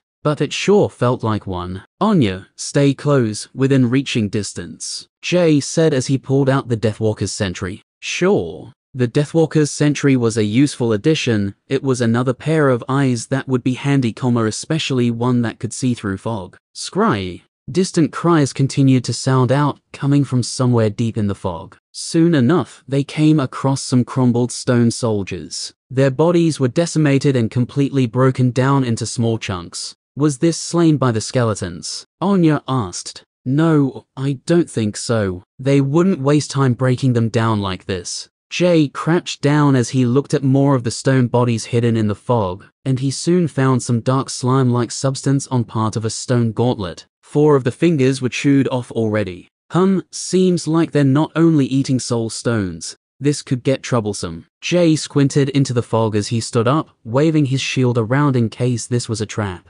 Thankfully, the shield gave no response. What's wrong with that? Anya whispered. The normal ones eat soul stones to get stronger. But there was another type which could eat body parts to get stronger, he whispered back. Anya suddenly became more vigilant and didn't say anything, only gripping her crossbow a little more tightly. As she stared into the fog and listened to more of the shrieking sounds, she immediately realized the implications of this. We should hurry and finish this dungeon before they get too strong, Jay suggested. Anya nodded, and Jay commanded the skeletons to march a little faster. They made some extra noise now, but it would be worth getting to the fourth pyramid faster. It seemed like only a matter of time before this part of the dungeon would be off limits. Chapter 161 Jay and Anya continued to sneak through the mist behind the skeletons, while the dehexapods continued to shriek and call out through the dungeon. After walking for some time, a tall black tower slowly emerged from the heavy fog. It was made from heavy blocks of the same dark stone as the rest of the dungeon. The entrance had no door and was extended outwards from the structure like a tunnel. After sending in a skeleton to make sure it wasn't a trap, Jay quickly stuck his head in to take a look around comma on the inside. It was just an empty room. There were no windows or stairs going to the top of the tower.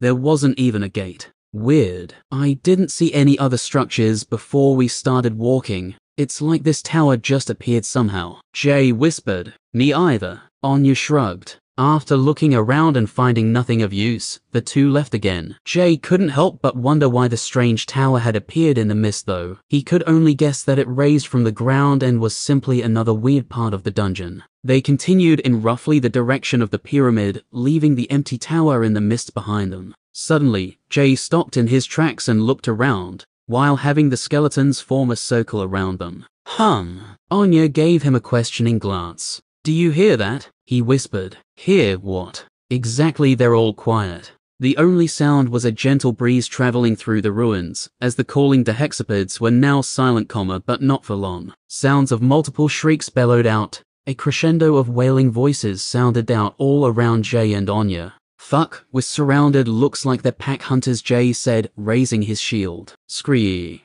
The first dehexapod appeared from the mist with a slicing attack against one of the skeletons, comma, the skeleton saw it coming at the last moment and was ready, bracing itself before taking a hit. The two skeletons near it all got to work, smashing their hammers against the creature. The dehexapod was much shorter than the level 133 they initially came across, and its speed was similarly slower, about the same speed as one of the skeletons, though this was still incredibly fast by human standards. With no time to rest, another dehexapod appeared from the other side of the defensive circle. Anya already began to launch bolts at them, causing them to stagger for a moment and allowing the skeletons to get some easy hits in. Meanwhile, Jay hadn't acted yet. He looked conflicted as he was still listening to the screeching sounds. Despite there being numerous voices, they were only being attacked by two. Perhaps these two dehexapods were merely the tip of the iceberg. Suddenly, the dehexapods both looked at each other and scurried off, climbing back into the ruins and hid in the mist. That was weird, Anya said. Maybe they were scared of each other. Anya's attitude was pretty casual compared to Jay. Jay was not responding as his thoughts were racing about what to do. He thought about the possible defensive formations they could take against multiple dehexapods. but it seemed that fighting as many as three of them would become a life and death battle. One thing was clear to Jay. They were in imminent danger. Those two were just to test us. Jay whispered, we might have to leave the dungeon. Anya now looked conflicted too, comma she definitely didn't want to leave, and fighting with Jay was a rare opportunity only afforded to her. The attack hadn't begun, and perhaps it was a good thing that Jay didn't attack. The Dehexapods wouldn't know his power, and would possibly hold off attacking. Even for a moment it would be an advantage. Jay was stressing slightly, clenching his jaw, while trying to think up any possible formation comma but he realized that wasn't the answer. This was when he remembered the Silk Woods dungeon. Against an overwhelming force of ethereal spiders, he used a choke point. We have to get back to the tower. He was still whispering, but a little more loudly. Oh, okay. Anya was surprised at how tense Jay seemed. He was usually much more relaxed. Scree. The attack signal sounded as they started moving back to the tower. It seemed that the Dehexapods noticed their change of direction and responded immediately. Run, Jay yelled. He had three skeletons protect them from behind, while two ran at either side. Scree. One was really close, screeching from somewhere behind them, but no one looked back. Your feeble creature has been slain. The small skeleton was grabbed and executed immediately, though Jay ignored the notification. He was just glad that the new skeleton served a purpose, even if it was to slow down a group of Dehexapods, if only for a moment. Jay's shield squeezed his arm right before another Dehexapod appeared from the mist in front of them. Clun, minus 3.3. He raised it just in time, blocking a slash from its claw, while he had the two skeletons on either side jump on it and keep it busy. They couldn't afford to slow down. Uncaring Rip, Jay stashed his shield and reached out with his gauntlet comma the creature, shuddered for a moment while its collarbone was ripped out causing it immense pain. Shrii. Despite the tense situation, a sly grin appeared on Jay's face, though only for a moment. Jay and Anya slipped past it as it was beaten by the skeleton's hammers. Jay made them throw caution to the wind and take damage so they could deal as much as possible. The Dehexapod clearly didn't expect such resistant yet careless enemies, as it let Jay and Anya dash by.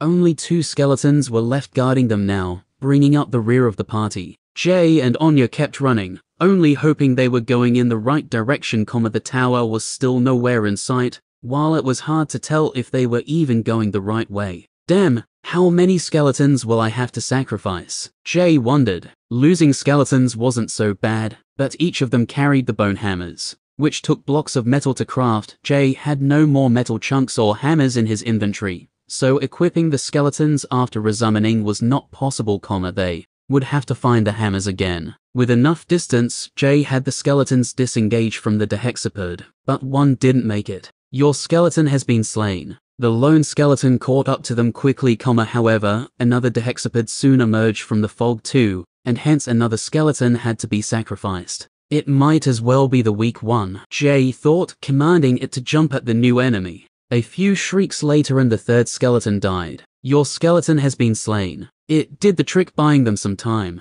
As they ran, it sounded like a stampede was coming for them, but thankfully the tower emerged from the mist once more. It was like a breath of fresh air, and each of them felt a rise of hope in their hearts. There, Anya yelled. The two dashed in quickly, followed by the two remaining skeletons. Get ready, Jay said as he stood in the entrance. A dehexapod came charging in straight after them, comma, only to be met with the blunt strikes of the hammers. Bits of its body chipped off and cracked as it cried in pain. Immediately it regretted its foolish charge, Yet it couldn't stop. The sheer speed of it managed to push back the skeletons and get close to Jay. But he braced himself and got his shield out, letting it take all the damage, smashing it with his shield, and it was brought to a halt. Jay smiled as it came to a stop. He was glad these dehexapods were smaller, remembering how the assistant sent him flying. Shring, 14.4. Immediately he retaliated, slashing his sword across its decaying human face.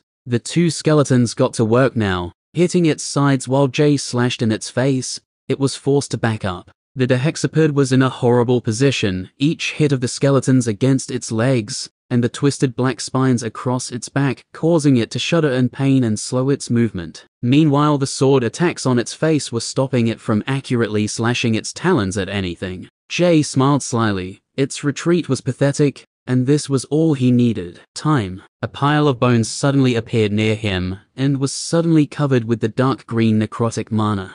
Bones began floating in the cloud of mana, and one by one, skeletons marched out with a glint of revenge in their eyes. The last one summoned was the level 1 feeble creature. The higher level skeletons were summoned with their armor on. It became a part of them. Dot though. After dying, it was cracked all over with chunks missing. Seeing their poor armor, Jay decided to remain defending with the other skeletons, while letting them eat their fill of the bone pile. The two skeletons were holding it off, but without Jay there, they were taking a few hits too. Before entering the fight again, Jay took a moment to analyze it. Dehexapod Soul Eater, level 3, HP 103, slash 103, damage, 6 slashing, comma upper body appendages, 4 slashing, comma legs, skills, congenital linking, comma 31 slash 58, shares its strength with other creatures, amalgamation, comma body parts, consumes to grow stronger, has become immortal. Dire Blades.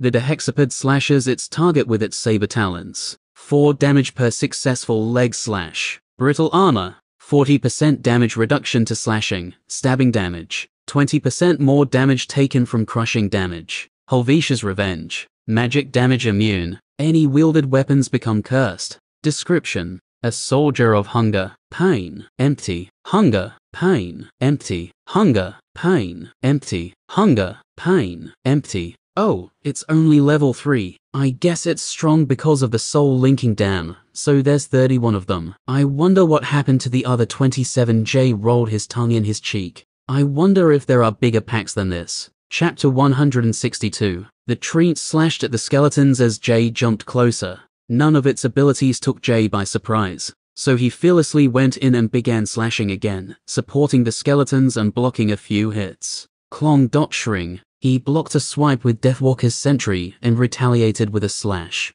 Whoosh! A heavy bolt flew past and pierced the creature right in the center of its chest. Scree! Seizing the opportunity, one of the skeletons suddenly dropped its hammer and pierced its claw-covered hand right into the dehexapod's abdomen. Oh, Jay could only guess what was happening as he looked on. It seemed that the creature was in immense pain, as the skeleton's hand carved up its insides, searching for one of its hearts. The pale sunken eyes of the creature began to roll back into its skull. As the skeleton found its target, a lump of black flesh was ripped out, and the creature fell to the ground. 65x the skeleton dropped the heart of the creature on the ground, while the other one searched it, bringing back three soul stones for Jay. Oh, maybe they don't drop Helvetian rings. That must be why there's so many soul stones to collect. Jay thought as he added them all to his inventory. Soul stone, comma, empty, x3. There was only a short breather from the fight, as more dehexapods were outside, trying to claw their way in as they fought over who got to enter the tower next. Jay and Anya could hear them crawling all over the walls and the roof, their bug-like stone legs tapping and thudding against the outside. Thankfully, the tower stood strong. It seems that it was another invincible part of the dungeon's core structure. Scree. Another dehexapod charged in, carelessly trampling over its fallen brother and piercing its corpse to no end. Ugh, how many are there? Anya reloaded another bolt, the rails of her weapon still glowing slightly from the last one. Just keep shooting them. Jay ordered as he stood between the skeletons once more. The duo continued to fight, stopping any dehexapods from getting further in comma they have no other option. The tower was both like a trap and a perfect defense, and they would hold their ground. A few more shrieks and scratches later, and the second one was dead. 65x Soul Stone, empty, X2. Jay blocked many times during the fighting, and Deathwalker's sentry lost its green necrotic glow as its energy dwindled. Though it wasn't much of a problem now that Jay had put more points into his energy, easily recharging it. The freshly summoned skeletons had finally recovered their armor and rejoined the fighting. They didn't have any of their hammers, so Jay just gave them the daggers he crafted in the third pyramid. They weren't very effective against the petrified bones of the creature's exoskeleton or its thick leathery flesh, but it was better than nothing. The level 1 feeble creature was by Jay's side all this time. It seemed to want to attack, but so far, it found no openings. Jay really couldn't blame it though. The Dehexapods were a much higher level, and it was much slower and smaller than the other skeletons. Another dehexapod ventured into the tower entrance, though it had a tougher time trying to get in because of the other two corpses. After taking a few hits from the skeletons and having hardly any room to move around in, it retreated. Huh, I guess they're not completely stupid. Jay shrugged. The attack was finally over. Phew, that was a little intense. Anya sighed. Yeah, good thing this tower was here. So what now? Hum, I'll send out some skeletons to see if there's any enemies left in the area. Then we can move to the fourth pyramid, Jay said as two skeletons immediately ran out of the tower and into the mist. Okay, sounds good. I still have my skill if we need it. Good Jay nodded, just save it for an emergency. Anya nodded as she watched two of the skeletons leave. Her eyes then drifted to a different skeleton. It was acting strangely. Hey, that one is being weird. Anya pointed. Hum. Jay watched the skeleton for a moment, it was periodically looking at the bone pile. Jay analyzed it, and a grin began to form on his face. You already leveled up, he smiled. Germinating skeleton level 4, comma blue. Type, comma undead. Roll, comma unclear. HP, comma 75 slash 75, comma plus 20, comma equipment. MP, comma 10 slash 10. Armor, comma 29. Skills. Bone Eater. Scrimshaw level 1, passive. Undeath, passive. Fear, weak, passive. Shade vision, passive. Description. In abomination, its existence spits in the face of life, and death, comma, and they spit back. Stop it before it's too late. Execute with extreme prejudice. Burn the bones. This was followed by another notification which lit a fire in Jay's heart. Please choose a role from available categories, comma available categories are based on the skeleton's qualitative experience. If no choice is made, a random role will be assigned once the skeleton levels up. Commander, Warrior, Guard. Fuck yeah, they have roles. He looked at Blue with a smile. Guard and Warrior makes sense. And I'm guessing you got the Commander because I put you in charge of the other skeletons. Obviously, we're going to go with the commander role. Jay grinned. Choice. Commander. Oh, so it's only a choice for now. Write the level up part. I guess we will have to wait till you hit level 5. Jay shook his head with a smile. Hum, I bet if I gave you all shields or bows, we could find some other roles. Blue kept looking at the bone pile, and Jay nodded while mentally giving it the green light to eat as much as it wanted. Jay suddenly had an idea, comma, he immediately got another dagger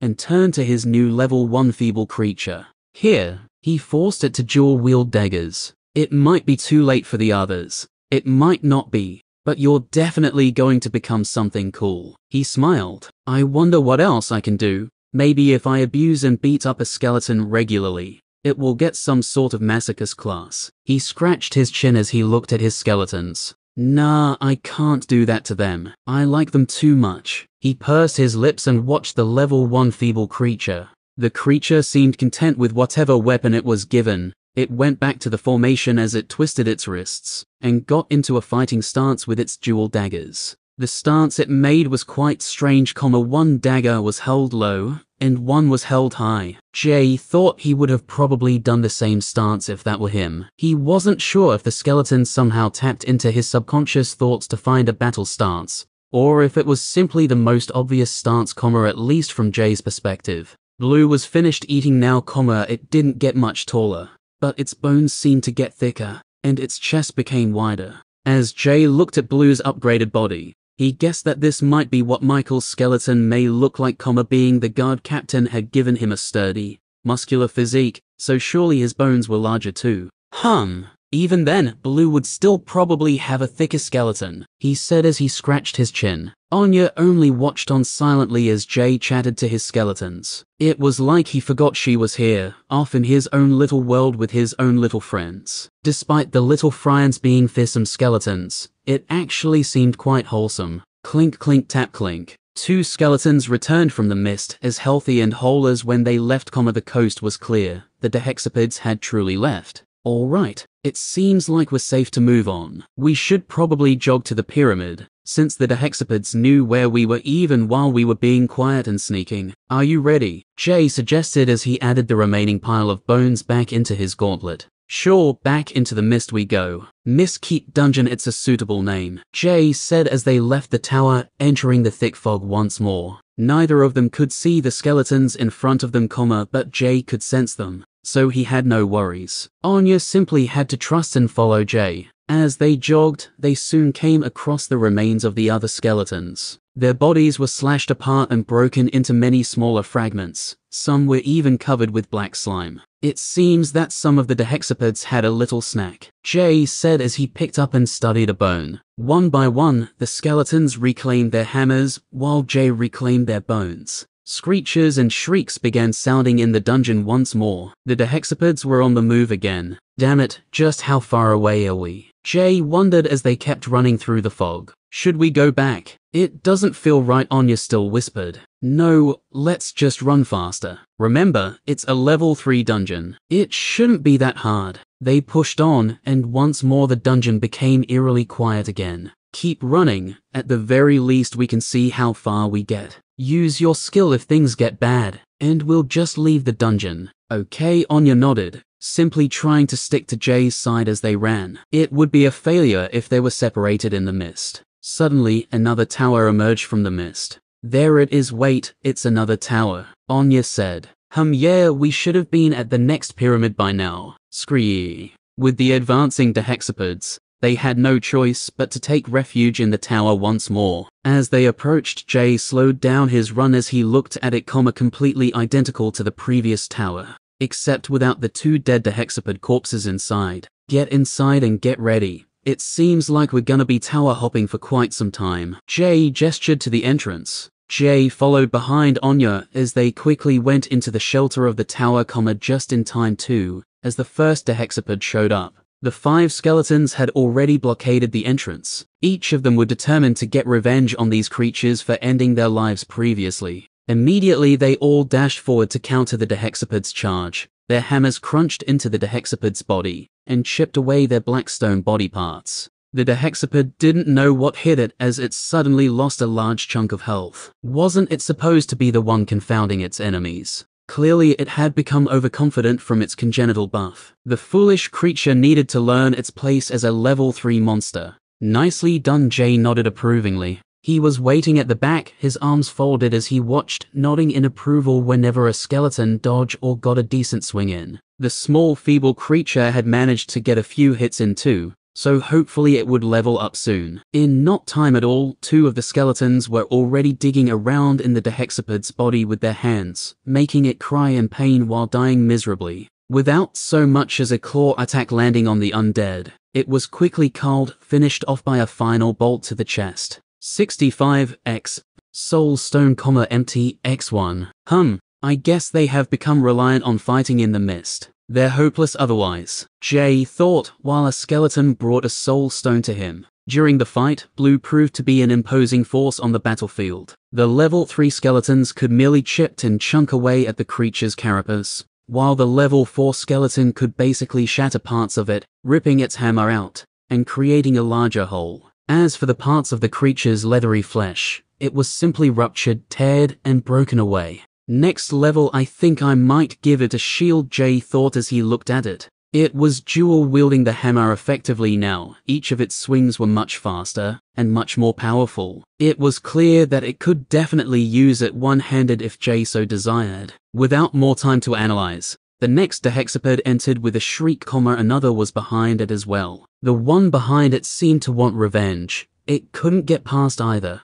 so it simply pushed its ally into the wall of skeletal death. So done. Jay shook his head disappointed in the foolish tactics of the creatures. They truly are just mindless beasts, I guess. He shrugged. A little disappointed in the poor tactics of his enemies, Jay let Blue command the other skeletons. It seemed that it was better at commanding the other skeletons now too, as at different points in the fight, some skeletons would move back while others would simultaneously go into attack. The dehexapod would slash at skeletons which were retreating comma and miss, while being pounded on from a different side. Turning to the other side, the process would repeat itself. The low-level dehexapods were a useful training tool for the skeletons. It wasn't as cunning as a higher-level enemy, but had a larger health pool. Right now, it was their punching bag. Jay couldn't actually imagine a better scenario than this to train his minions. A part of him almost wanted to mock the level 3 dungeon comma, but he decided not to tempt its wrath. Have the new skeleton attack more Jay ordered through his mind. Blue didn't turn back to Jay, but it turned its bone skull towards the level 1 feeble creature with its dual-wield daggers. Jay didn't need a clue or a yes sir, it was obvious that it was already carrying out Jay's will. The little skeleton dashed into the fray, eagerly plunging its dual daggers into the tough, leathery, skin-like joints of the dehexapod. Chapter 163 The dehexapod looked uncomfortable as the small skeleton was running around under it causing mayhem. Each of its legs shuddered when a dagger was pierced into their joints. The monster couldn't even defend itself now, much less attack. Hammers smashed down on it repeatedly, and just as it got used to the pace of the battle, a bolt would suddenly pierce into its chest. There was nothing it could do. It was outmatched. It was a completely different fight. Compared to when it was part of a swarm, comma, it had never even been attacked until now. A primal fear set in, a stressful panic. It desired to flee, but at this point it didn't have a choice. But to fight, comma, its own kin was behind it, pushing it forward and blocking its retreat. After a desperate struggle, the light from its eyes left it while its body collapsed. The next dehexapod walked over its corpse, and soon enough, it met the same fate. 130 X Soul Stone, empty X6. A third charged in, but it died even faster than the second. Jay's party was getting proficient at slaying them, especially with the crafty little dual dagger skeleton, contributing to the fight now too. 65 X Soul Stone, empty X2. Screeching noises came from the mist as the third one died, and the attack was over. All the dehexapods crawling over the tower disappeared, and the dungeon went completely quiet again. Okay, looks like it's over. Let's move. Jay pointed to the mist. They had to climb over the piled up corpses to get back outside, but then they were well on their way. Hum three dehexapods Jay thought as they ran through the cloud, beginning to notice a pattern.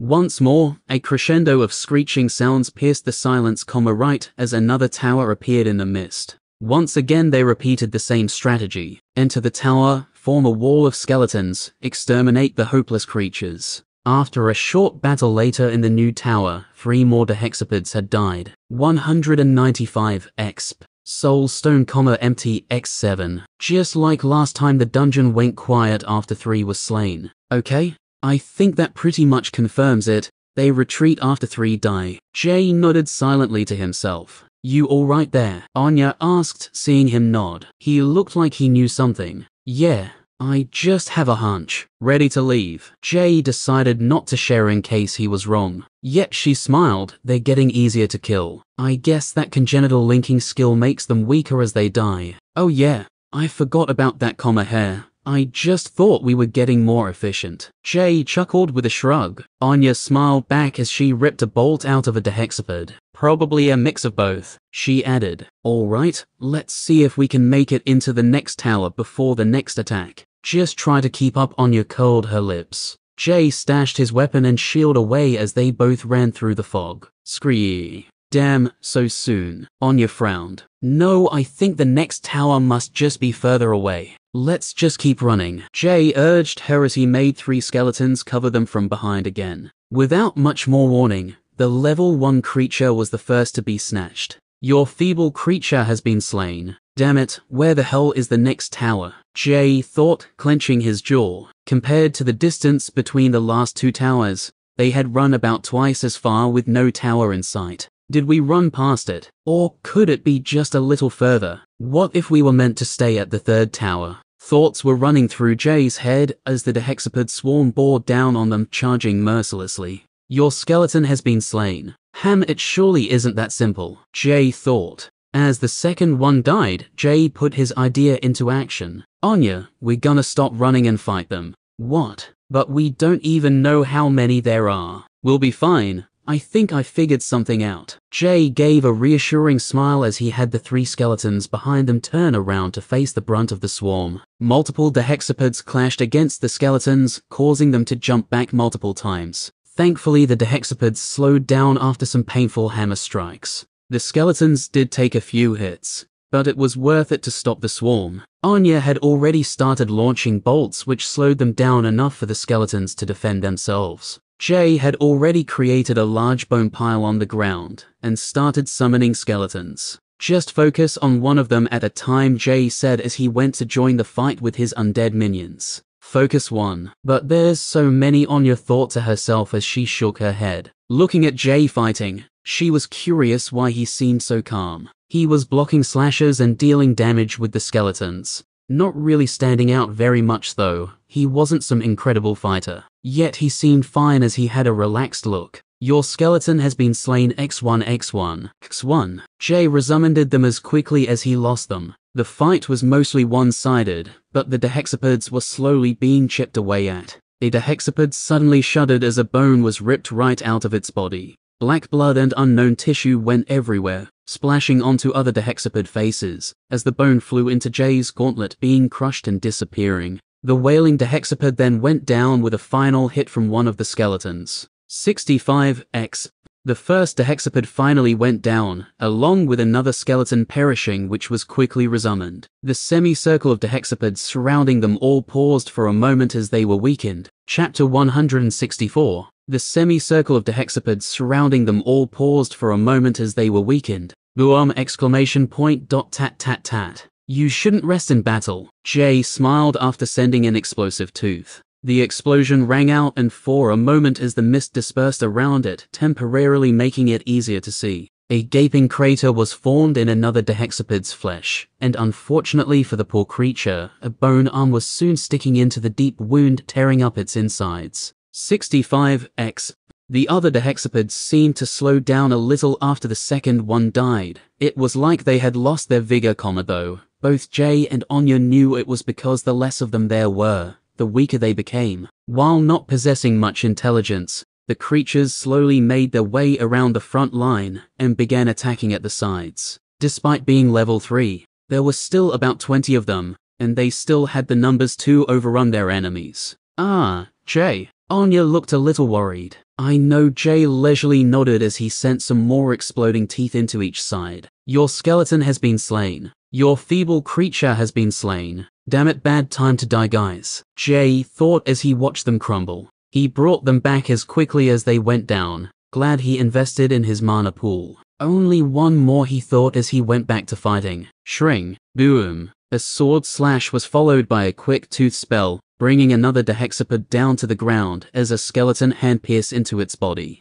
It could only screech with its last breath as its insides were pulled out. 65x J Help! Anya yelled as two dehexapods had made it to her, about to slash her to pieces. Jay only looked back at her with a smile, comma the third dehexapod has just died as she yelled out. Ha! Huh, Anya was about to use her prostrate ability, but then the enemies froze in front of her, comma no attack came. Along with them, the dehexapods suddenly all froze and screeched before returning back to the mist and hiding once more. Anya was still looking confused as Jay was still looking at her with a cheeky grin. Care to explain? Anya said while rubbing a finger between her eyebrows. Well, you only need to kill three of them and they retreat. Killing two seems to weaken them, then a third makes them give up. Jay raised his chin with a slight smile. Oh, so you figured it out. I guess I was too focused on the battle to realize. Anya said as she reloaded her crossbow. Hey, yeah. Anyway, Let's keep moving, Jay said as he added the bone pile back to his ring, along with any fallen skeletons. Slowly but surely, Jay was changing. He was beginning to see the broader picture of battles rather than the one versus one fights. With his skeletons fighting for him, he could practice tactics and strategy, while being able to analyze the battle freely with a calm mind. It was a simple skill to have, but for a normal adventurer, it would take years to get a feel for it. Many wouldn't even learn such a skill unless they found themselves in a leadership position, instead just following orders and focusing on their fighting skills. Let's keep moving. Hopefully the next tower isn't too far Jay pointed into the mist. Once again, the party began running through the mist. Do you hear that? Jay pointed up as they stopped running and listened for a moment. Instead of the odd background screech in the distance, there were new sounds, comma hearing thudding, crunching and clashing sounds. Yeah, Anya narrowed her eyes, gazing into the mist. It's coming from up ahead. MMM, let's stop running. Jay began walking again as Anya followed. They didn't want to run right into the middle of an intense battle in the thick mist.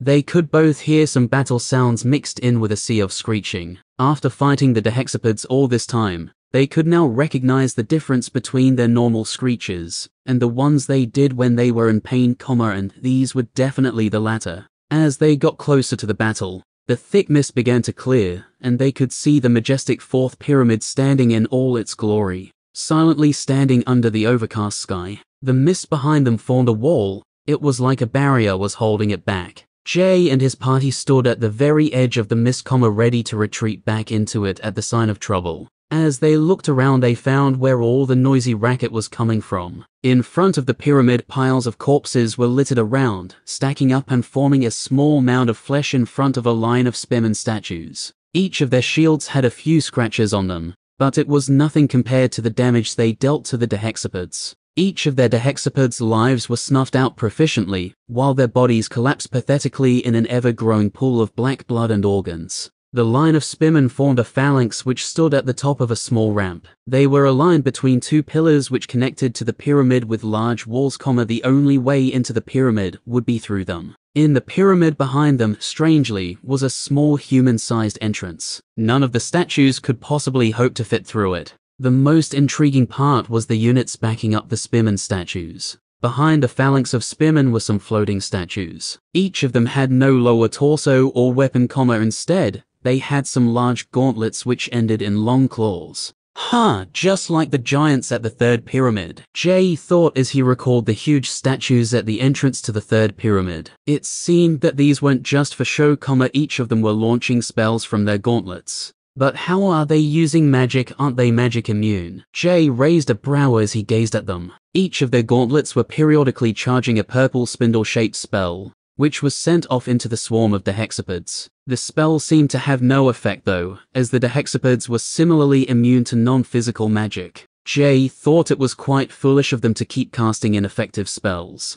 but he guessed that the statues were simply too old, relying on their instincts as they kept launching endless, useless spells. Their minds had left them. Chapter 165. Jay had a regretful, pitying smile but he was soon bothered by something, comma, he wouldn't know how strong this spell is, or what it did, until he actually experienced it. This was the least of their problems for now, though, as there was another dilemma facing them. Do they wait to see if the Dehexapods can thin out the stone guards before entering the battle, comma, or do they enter now? Before all the Dehexapods die out, taking some pressure off themselves while fighting the Stalus. It was clearly a different pack of Dehexapods too, as the one they fought in the mist only had about 15 left, the number of them fighting this battle were in the mid-40s. Jay squinted at them for a moment. It seemed like the Dehexapods were doing well, and the battle would be equal, comma, yet there was one problem. Each time a Dehexapod died, they would all get weaker. This would have a compounding effect, comma, if one was slain, then the next one was easier to kill. It seemed an even battle now, but soon it would snowball out of control, and the poor twisted creatures would all probably die at once.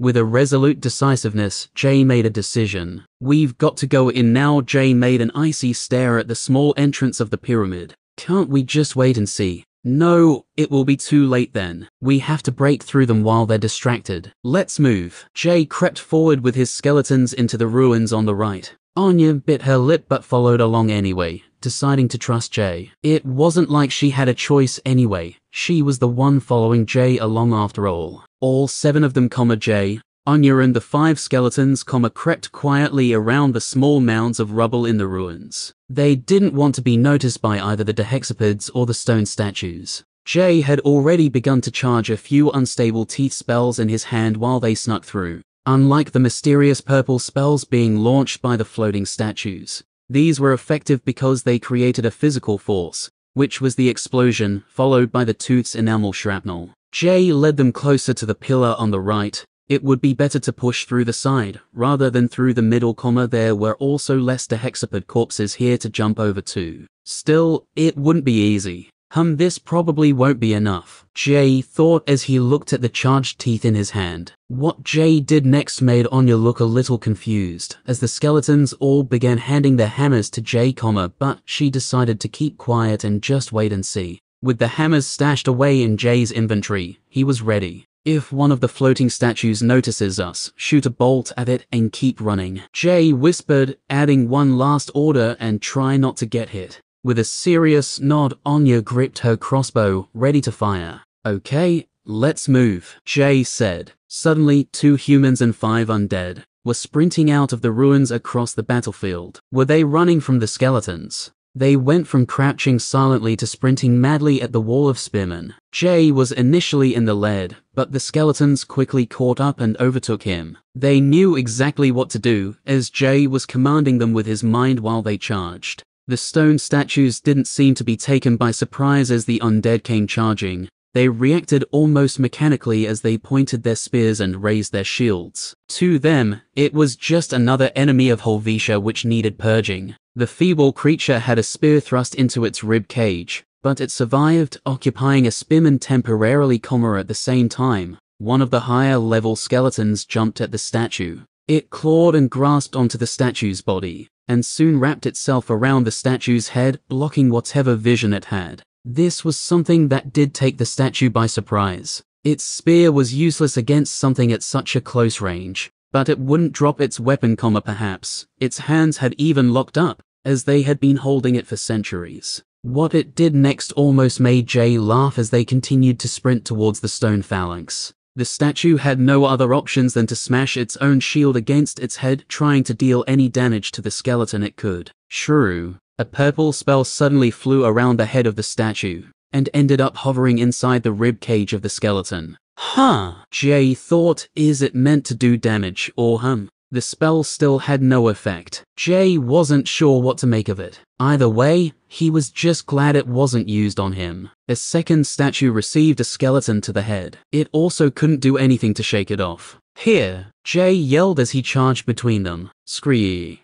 The Dehexapods noticed something strange was happening now too, and some began to charge over to the side. It seemed that the soldiers had partially broken their formation, and this was their opportunity to strike. Jay and Anya dashed through the wall of spearmen statues. Thankfully, the floating spell casting statue was still trying to cast its useless spells at the skeleton, since it was the first enemy that made it into its attack range. The spearmen statues on either side of the skeleton covered statues started thrusting their spears into their allies' heads. This proved quite effective as they skeletons lost grip and were pushed off, though they still damaged their own kind. The feeble creature had died by this point, and another skeleton was soon to follow, comma, but it didn't matter to Jay. They had done their jobs quite well. It was a crazy tactic, but it worked. The Dehexapods that had noticed the commotion were already attacking the preoccupied spearmen statues, taking advantage of the chaos. Jay didn't want to favor one side over the other,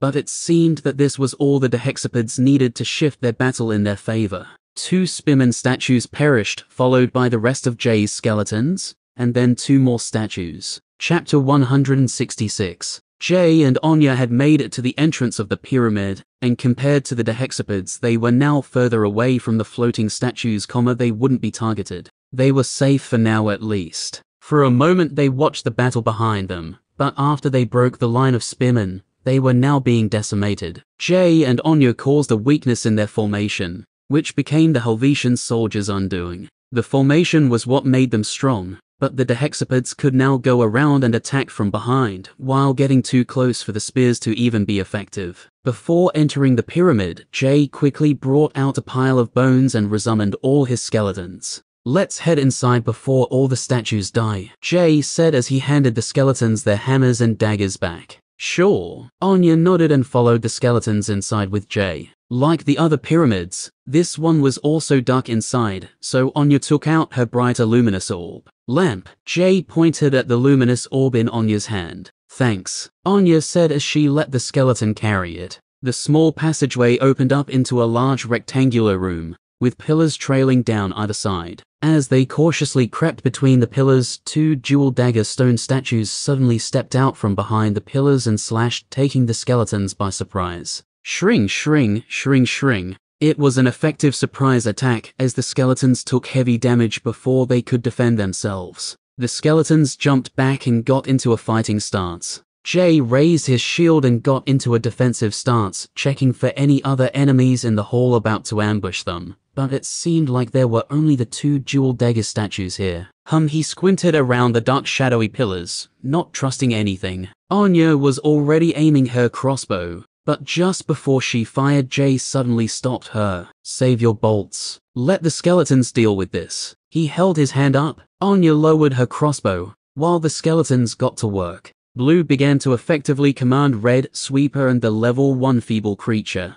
First, Red and Sweeper attacked one statue each. Red took the left state and Sweeper took the right statue, taking the aggro and forcing the statues to target them. Next, Blue and the level 1 skeleton went behind the left statue and started smashing their hammers down on its back. The poor statue had no choice but to turn to face them. Unfortunately for the statue, its back was now wide open to red, which made it suffer for turning its back. Between blue, red and the level 1 feeble creature, the statue was basically spinning. What was once a fearsome soldier turned into a useless punching bag. The feeble creature got a few slashes in, but its damage was minimal, almost not worth mentioning. Soon, however, it found that stabbing was more effective than slashing against their darkstone bodies. It was a slight difference, but was enough for it to continue this strategy, and now it was only stabbing. Despite having weapons quite effective to face a swarm, they had no choice but to accept their fate and give up their soul stones. They were simply outnumbered. The second statue could do nothing after its comrade died. It still did some damage to Sweeper,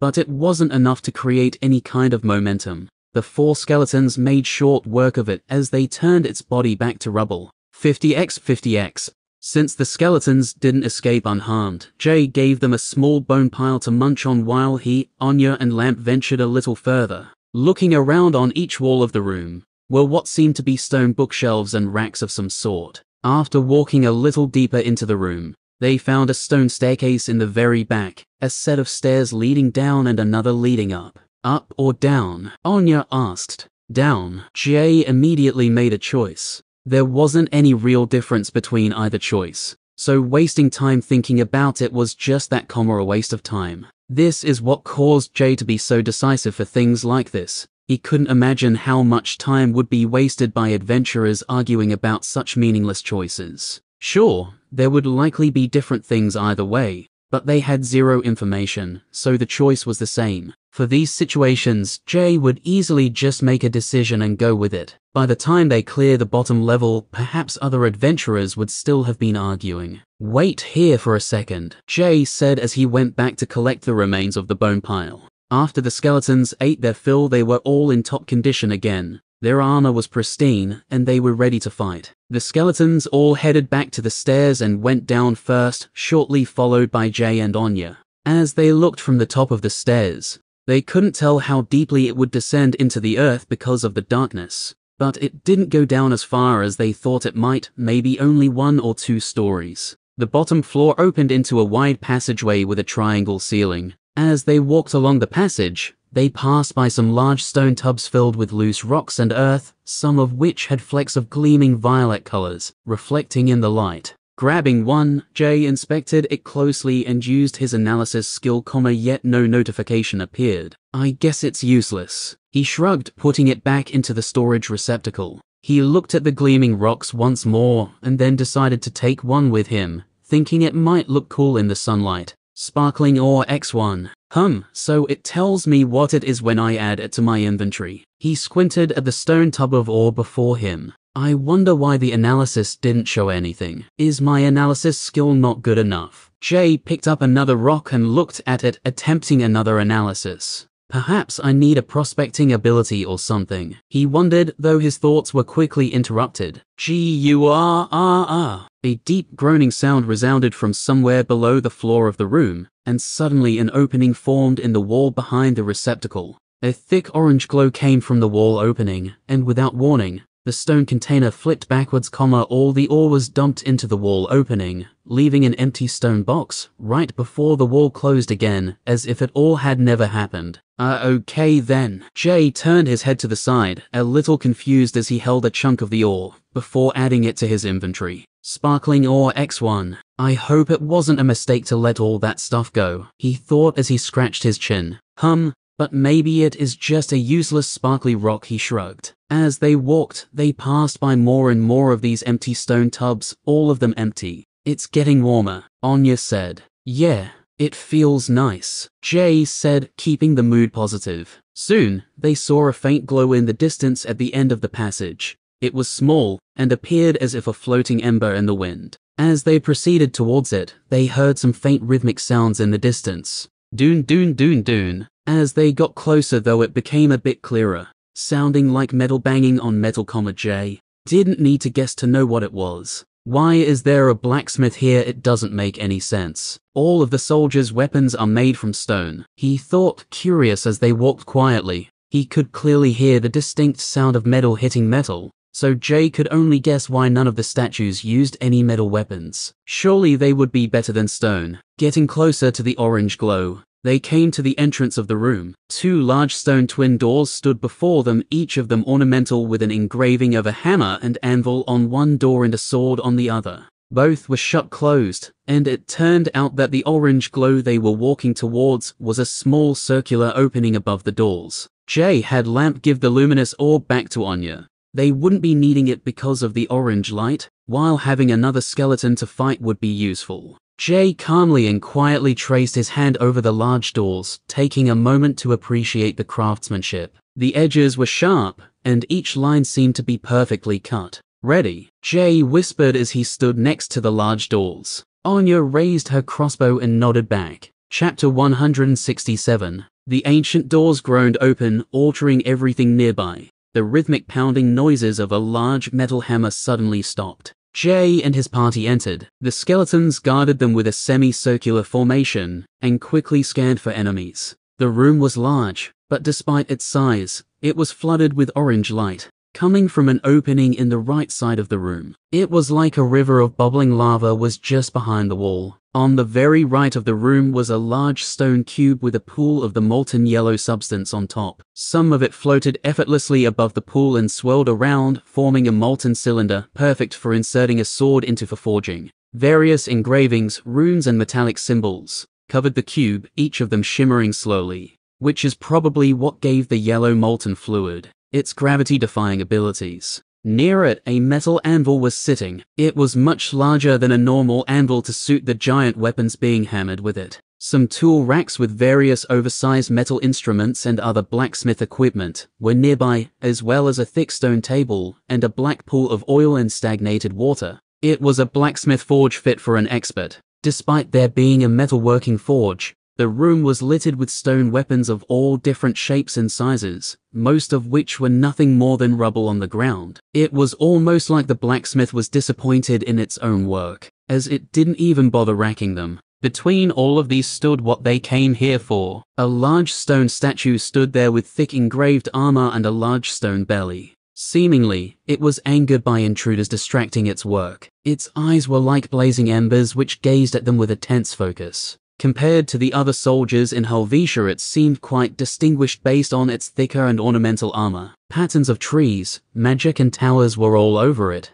What was strange about the large statue was that it wasn't holding its hammer with its gauntlet, it was holding a pair of metal tongs, which held its hammer. In its other hand, it held a long glowing piece of metal. Odd Jay thought, thinking that it should be using the tongs to hold the hot metal instead of its hammer. It seemed that the heat didn't affect its stone body comma, but why use tongs to hold a hammer? The large statue turned around and set its metal hammer down next to the anvil, with a deep thud and a low ring. Next, it grabbed one of the stone weapons nearby comma it was another hammer. The only difference is that it was stone instead of metal. Strange Jay thought, looking for any clues. There were no other enemies in the room, so Jay decided to let Blue lead the attack again. The skeletons all marched forward with their own hammers, surrounding the large statue as it stomped forward in response, each of its own steps creating deep thudding sounds coursing through the room. Anya was ready to launch a bolt as soon as the skeletons attacked and took the enemy's aggression. Meanwhile, Jay took this opportunity to analyze the statue. Hesvan, level 8, HP 700 700, Armor 500, Skills, Water Spear, nullified. This spell is no longer usable. Guided Hammer, comma passive. Continuous usage of hammers provides a damage bonus. Plus 7% damage with hammers. Eternal Forger, comma passive. Many lifetimes spent in the forge has caused a change. 100% heat resistance. Balwak's Vine, comma passive. My armor is an extension of myself. I even sleep in it. I am one with it. 15% of armor converted into bonus health. Restless Strength, comma passive. Unstoppable, unmovable. Crowd control abilities have no effect. Tool Bond. A master craftsman has become one with their tools. The bond grows stronger the longer the tools are used. Plus 322% efficiency. 1 slash 2 tools bound. Brittle armor. 40% damage reduction to slashing, stabbing damage. 20% more damage taken from crushing damage. Helvetia's Revenge. Magic damage immune. Any wielded weapons become cursed. Description. An honored servant of the Helvetian king, turned to stone, a once legendary blacksmith, now purely relying on instinct to forge. Time passes, but the hammer continues to strike. Hesvan works tirelessly, forging weapons for the king's great revenge. Huh, no active abilities well? There is that water one, but I guess it lost the ability after it turned to stone. Jay squinted at it, scratching his chin. Compared to the spearman and swordsman statues, this one seemed very well fed, at least before it turned to stone anyway. It had thicker limbs and a large stone belly, all covered by its thick gothic ornamental armor. Unlike other statues, it had no helmet. It would probably be too cumbersome when crafting, and it was bald with a thick stone beard. With the statue surrounded, the skeletons crept closer to begin their attacks, but the statue took the initiative and lunged forward. Boom! With a sideways swing, its stone hammer instantly connected. The feeble creature was instantly smashed to pieces, its spine flying into a wall and falling apart. Shit. Jay thought as he quickly resummoned it. The level 1 skeleton had 15 health and no armor so it was hard to determine how much damage was actually done, comma, until another hammer swing came flying at Sweeper. Sweeper dropped its hammer as it was similarly sent flying, though it maintained its form as it slammed against a wall. Despite its rib cage being mostly snapped off and one of its hands lying on the ground, it instantly jumped back into the fight. Jay smiled seeing how his minions just didn't care about being wounded. If they were human, it would count as being mortally wounded if they were living. No human could ever hope to match their tenacity, or how quickly they could jump right back into a fight. The statue had quite a different reaction as it saw that its damage was merely superficial. Shouldn't they stay down for at least a moment to recover? The statue had never fought the undead before, and it definitely didn't expect them to be entering its forge. What happened to the guards? Surely they wouldn't have fallen to a small force of undead and two humans. Nevertheless, they were here now and it would fight. The thirst for Helvetia's revenge still was not quenched. Seeing that the skeletons wouldn't go down so easily, it immediately changed its tactics. It swung again at Red as it dashed to a corner. The swing missed though, as it was simply trying to clear a path to a more defensible position. Jay analyzed Sweeper to check just how hard the statue was hitting. HP 38-60. Damn, 22 damage. Good thing it missed Red. Jay nodded, seeing Red dodge jump to the side. The skeletons used to have 5 bonus HP from the Silt Wolf bones, but now they relied on Jay's new armor, giving them 20 extra HP. It was a good trade-off once they evolved into fully formed skeletons. Without the armor, they would only be able to take two hits, and being able to take an extra hit was a huge difference, especially since collectively, they could take an extra four hits. The skeletons had managed to get in a few hits of their own comet though. It was clear this was going to be a long fight, after Jay saw their damage numbers. 444. Abysmal. He pursed his lips, seeing the pathetic damage. This will be a long fight. Chapter 168. Dwoosh. Thankfully, Anya was there and she dealt piercing damage. All the armor of the statue counted for nothing, and the brittle armor passive had no effect on ranged attacks. A heavy bolt shot forward and ignored the armor as it punctured right through it, creating a borehole, as it struck deeply into the stone blacksmith's large stomach. The statue was in a corner now, which was a much more defensible position, though after the bolt pierced its stomach, it looked directly at Anya as if warning her, even daring her to shoot another comma before, going back to striking at the pesky skeletons, with its large stone hammer. With its back protected, it began to fight back, each swing causing heavy damage to the skeletons, comma, but after being flattened, they instantly spring back up, retaliating with their own powerful strikes. boom comma doon. It would periodically miss, creating tremors throughout the room. It definitely had lower dexterity than the skeletons, but it was still a level 8 opponent, so its strikes would sometimes land on the nimble undead skeletons. Blue was doing slightly more damage than the other skeletons, chunking off parts of its armor slowly. It was level 4 now, so it was dealing more damage. 5.35.3 Another bolt struck the creature, dealing massive damage, and causing it to pause for a moment as it recoiled from the hit. This only served to let the skeletons freely attack, getting in more easy damage. It glanced at Anya again after taking more damage from her. Once it was done with these skeletons, she would be the next to die. But for now, it just had to focus on culling the skeletons. Shortly into the fighting, a skeleton had finally been slain, comma, but Jay just resummoned it. It rejoined the battle with the same intense vigor it had died with, and only a moment passed between its death and summoning. The statue gazed at Jay next, slowly realizing that killing the skeletons would be pointless. After seeing that taking the skeletons out would not be effective, the statue played more defensively for a moment while it analyzed the battlefield. Between a few horizontal swings to keep the skeletons at a distance, it would briefly glance at Anya and Jay, who would it kill first. After the next bolt came flying and piercing its stone chestplate, it made its move. Doon, doon, doon.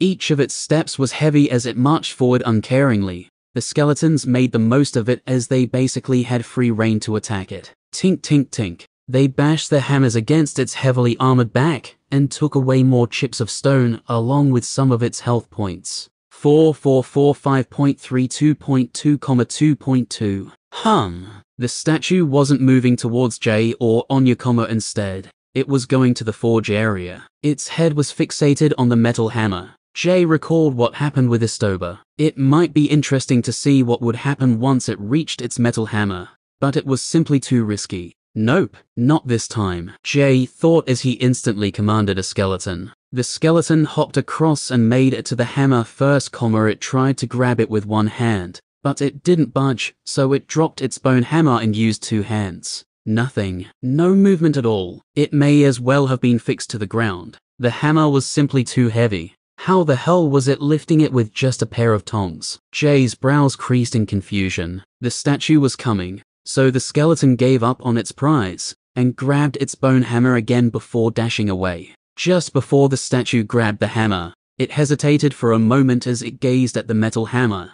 It was about to dual wield two hammers. As it reached out, its hand paused for a moment, though, as another hammer strike from the skeletons came down on its back. It shook its head and grabbed it instantly, before swinging around behind itself. The hammer was instantly coated in a faint golden aura. It was hard to see because of the orange light from the forge, but it was definitely there. Boom. It smashed right through two skeletons, ending them instantly. What the fuck? Jay said as he watched two skeletons turning to flying bones in one attack. He instantly resummoned the destroyed skeletons. The statue was now looking directly at him, as it walked forward, the hammer slowly stopped glowing golden. It became faint before pulsing for a moment and suddenly disappearing. Next, the metal shine the hammer was giving off before disappeared. Jay looked a little more closely and noticed that it had dark grey veins now traveling through it. It was turning to stone, and the grey veins now growing through it were beginning to look like the other stone hammer it was dual wielding. Doon, doon, doon. It walked faster towards Jay, who suddenly realized what would happen. The curse of Helvetia's revenge was changing its last metal hammer to stone, this was why it used the metal tongs to hold it awkwardly. Due to its blacksmith experience, the metal hammer in its hands was much more dangerous than some cursed stone imitation. If the hammer connected with him with it was still metal it would end in instant death. If he evaded long enough, it would be a battle of attrition until he wins. It was over once the hammer turned fully to stone. Basically, there was a time limit for the statue to slay Jay within. It decided to go for Jay first, as Anya would be helpless without Jay, because she was immobile when she reloaded her bow. How would she do damage if she kept having to run away? Once the necromancer was gone, it could just walk towards her until she either died or left the dungeon. Of course, it still needed the annoying necromancer to die. The statue was like a moving mountain, a wall of death heading right towards him. All Jay could do was flee from it. Instead of moving into another part of the room, Jay headed back into the passageway. Anya decided to move into another corner of the room and continue to fire. In the event of the blacksmith statue turning on her, she would be fine, since she had her black mist ability, as well as her unique skill. Just keep shooting it. Jay called as he reached the twin doors. Chapter 169 Dune Dune Dune. The blacksmith continued to march at Jay with its dual hammers at either sides. It was a bulky statue, but it was still huge nonetheless. Each of its steps was akin to jogging speed. The four skeletons continued to chunk away at the statue, and a bolt in the back only served to push it forward towards Jay. The metal hammer had veins of rock beginning to grow through it more as it was falling to the curse. It was spreading fast, comma, but Jay and the statue were already in the hallway and heading towards the stairs. Still, Jay wasn't too worried. While it was like a walking mountain, it was still slow. He just had to trust Anya and his skeletons while staying out of danger. Dune dune dune. Jay passed by the empty containers. As he went further from the furnace light, it was getting dark again. The statue looked even more sinister in the darkness, as all he could see was a giant silhouette of an armored monster, dual wielding two hammers. He only had his small luminous orb to guide him through the darkness, which he quickly took out. The statue gripped its pride at joy, its last metal hammer. It had to sacrifice it to save itself, but unfortunately it realized that it wouldn't catch the necromancer before they reached the end of the passage. It had to do something or otherwise it would all be for nothing. It swung its stone hammer back before taking a heavy step forward, planting its foot into the shattering ground. Foolish. It released the hammer as it swung, sending it flying at Jay. It made a humming sound as it sped through the air at a high speed. The statue had high strength but low dexterity, so it was powerful but not accurate, though against all odds it connected with its target. Boom. Skulich. Gra Fuuk he clenched his jaw so hard that blood dripped out in his spit. Jay's leg instantly exploded and turned to paste. The necrotic vambrace was similarly smashed to brittle bits of bone. It happened so fast that it was like his brain didn't even realize something was wrong, as he walked on his exposed leg bone for a moment before collapsing helplessly on the ground. Minus 18. Dune, Dune, Dune. The statue marched a little more slowly and a little more confidently, now that its target was maimed. What could it do? Run. Unbeknownst to the blacksmith statue, Jay also had high vitality comma and that only meant high regeneration. Dune, Dune, Dune. Come on, heal you bastard. Jay yelled at his leg. Dune, Dune, Dune. The statue's march was unstoppable despite all the bolts sticking in its back, and the skeletons harassing it. Some unstable teeth spells slowed it down for a moment, but it simply wasn't enough. Finally, it made it to Jay. Slowly, it raised its arm to end him as it winded up a powerful swing. In an act of desperation, Jay immediately went all out.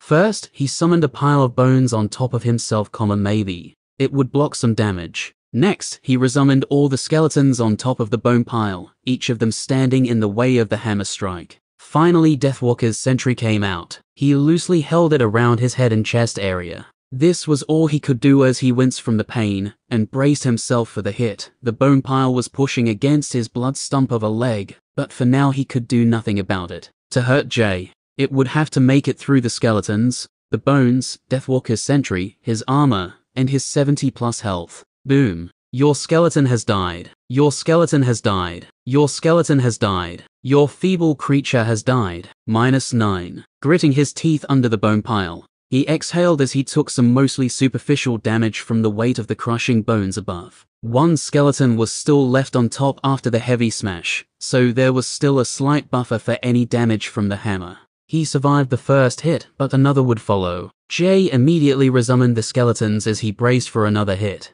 Prostrate. Finally, Anya was here. Dune. The heavy statue immediately knelt down, bowing to the authority of a higher power. Jay and his skeletons had prior permission to move under her unique skill, so he immediately stored the bone pile. Much of his leg had regrown. It was just missing a foot now. Jay, I can't hold it for long. It has strong loyalty. Anya yelled from somewhere behind the statue. Jay didn't understand what she meant about loyalty, but he didn't need to comma he only had to know that he didn't have much time. He had to move as far away from the statue as possible to buy himself some time to heal. After looking at his skeletons around him, a slight grin appeared on his face as he thought of something. His new orders communicated immediately through his mind. Each of the skeletons grabbed one of his limbs and lifted him up. The feeble creature went underneath and pushed up on his back. Jay was basically crowd surfing on his skeletons which proceeded to carry him past the blacksmith. A smug grin flashed at the blacksmith statue as he was quickly carried away. At this moment he felt like Matheson, mocking him through his carriage window. Eek, shit, toy, he said with a hint of malice as he spat. The spit coated the statue's face as he passed by. It made a satisfying wet slap sound as it splattered onto the blacksmith's stone face. For just a moment the blacksmith's body shuddered, but it was still held in place by Anya's unique ability. Jay had the skeletons carry him behind the blacksmith all the way back into the forge room. The five skeletons worked together seamlessly. It was like they were part of a perfectly choreographed performance as they carried Jay. He was only moving slightly slower than what he could run at. It was uncomfortable, but right now he would gladly trade comfort for speed and safety. Anya was reloading her crossbow as she watched him being carried. Seeing his face having a cheeky grin on it, she could only shake her head and roll her eyes and follow him back. Jay had his skeleton put him down back of the blacksmith room near the forge. He kept the feeble skeleton with him for support, leaning on its head with one arm, as he sent off the rest of the skeletons to fight. They grabbed their hammers and went off to finish the battle. Chapter 170 Despite always giving 100%, the skeletons seemed to be filled with even more bloodlust than usual. Something had dared to hurt their master, and their desire for revenge was even more inflamed by their fellow undead joining them for the revenge crusade. All four of them charged madly down the hallway, including Blue. It was an all-out attack with zero concern for self-preservation. The blacksmith statue was free from Anya's prostrate ability, and prepared as its enemies charged towards it. Not that the statue knew, but the first skeleton coming was Red. Red jumped up high with its hammer raised above its skull, bringing forward a downward swing, going right for the statue's head comma yet. It never landed the hit. Boom. The blacksmith's stone hammer swung sideways, easily smashing Red into the wall comma but Blue, followed right after and landed a heavy hit, catching the statue completely off guard. Crack. A critical hit. It was like Blue had planned this, using a weaker skeleton to take the hit, so it would be free to deal damage. A large chunk of stone bounced off the statue's shoulder as half of its jaw was shattered away. The blacksmith's metal hammer in its other hand was almost completely stone now, and it swung it back quickly. Blue knew the hit was coming from its second hammer, but it didn't care. It had done its job. Cause massive damage, protect its master. Boom. Blue was like a ragdoll as it smashed against the other wall, ending up on the opposite wall to red. Since the hammer was mostly stone now, it only did normal damage, and Blue miraculously survived. Since the blacksmith's superweapon turned to stone, the threat of the blacksmith was essentially over. The statue continued to march towards Jay, while Sweeper and Lamp were ignored as they hacked away at the statue's arms and legs, chipping away some more of its health along with some stone fragments. All the damage was taking its toll on the statue. It was on its last legs and was slowing down. It began to realize the plan to kill the necromancer had failed. Each of its swings were getting slower and weaker as its life force began to leave its cold stone body.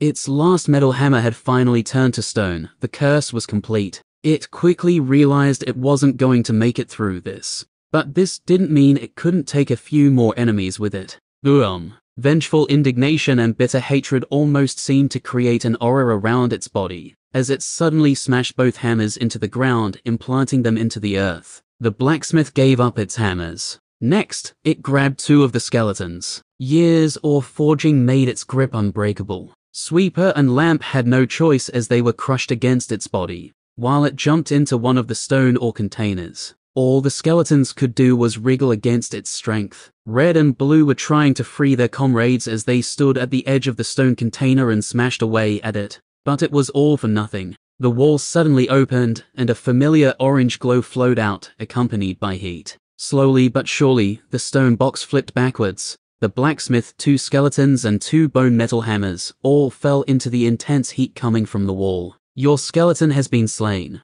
Your skeleton has been slain. 800x.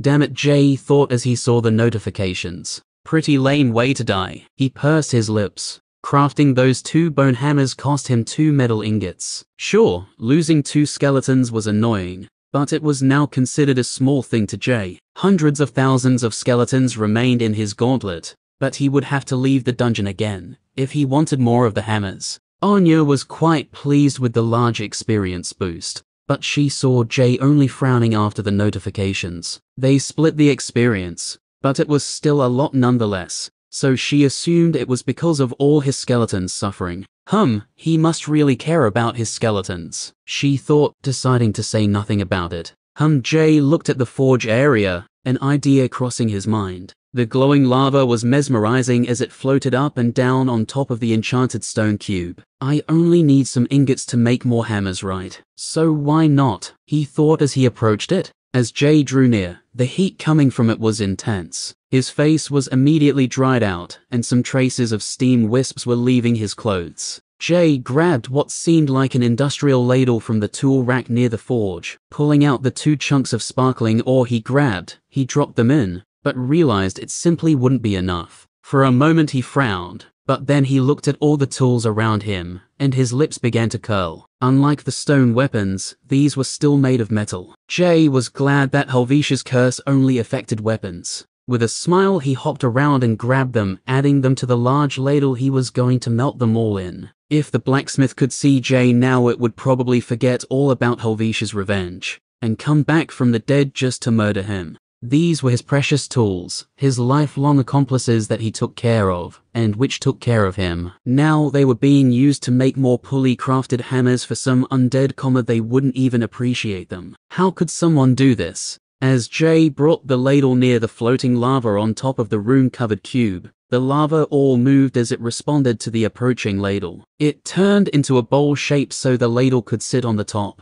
Not bad, Jay thought with a nod Helvetia Shaw was advanced. He placed it in, and it only took a moment before the contents all became a silvery liquid. There was some gunk on the top, but he scraped it off. He wasn't sure what it was, but his instinct told him it was probably trash. Jay looked around and found some molds to pour the liquid into. None of them had hammer shapes, but there was something shaped like an ingot, so he opted for that. Thankfully, Anya waited patiently as she watched. She didn't have much else to do, but it wasn't like she had a choice either. Without Jay, she would definitely not get this far. The molten metal flowed into the molds with ease. It was quite straightforward. A few moments later, his ingots were crafted. He had some liquid metal left over, but he just left it in the ladle. Helvetian steel ingot, 84% purity X2, 84%. Jay frowned as he analyzed the ingots. He could see the tiny flakes from the sparkling ore in it, but it seemed that there simply wasn't enough for any meaningful change. It was probably what made up the other 16% of the ingot, or at least some of it.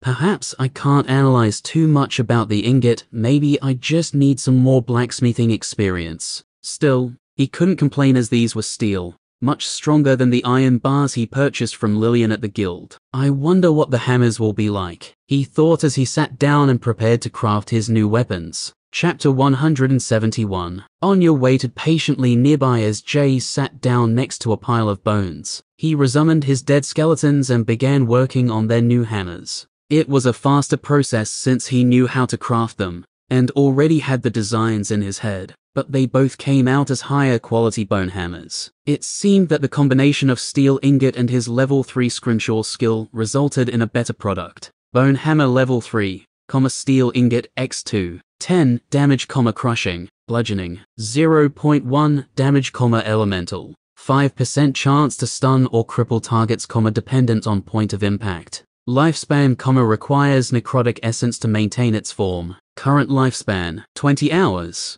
Not bad, Jay said as he admired his handiwork. The steel part of the makeshift necrotic hammer still gave off little glints of light. It seemed that the residual sparkling ore gave a small elemental damage bonus. Still, the 10 damage was a massive boost in power compared to the other bone hammers, which were doing 6 damage. It was even stronger than Jay's Osane arming sword now. Jay decided to make himself a better hammer using his necrotic mana. He melted away the bone from one of the other ones and saved the iron bar before using it to craft another. Bone hammer level 2, comma iron bar. 8 damage, comma crushing, bludgeoning. 5% chance to stun or cripple targets, comma dependent on point of impact. Lifespan, comma, requires necrotic essence to maintain its form. Current lifespan, 10 hours. Not too bad. Jay nodded, standing up again. He would have recrafted the others, but he decided to save his mana. He was getting low from all the summoning and crafting.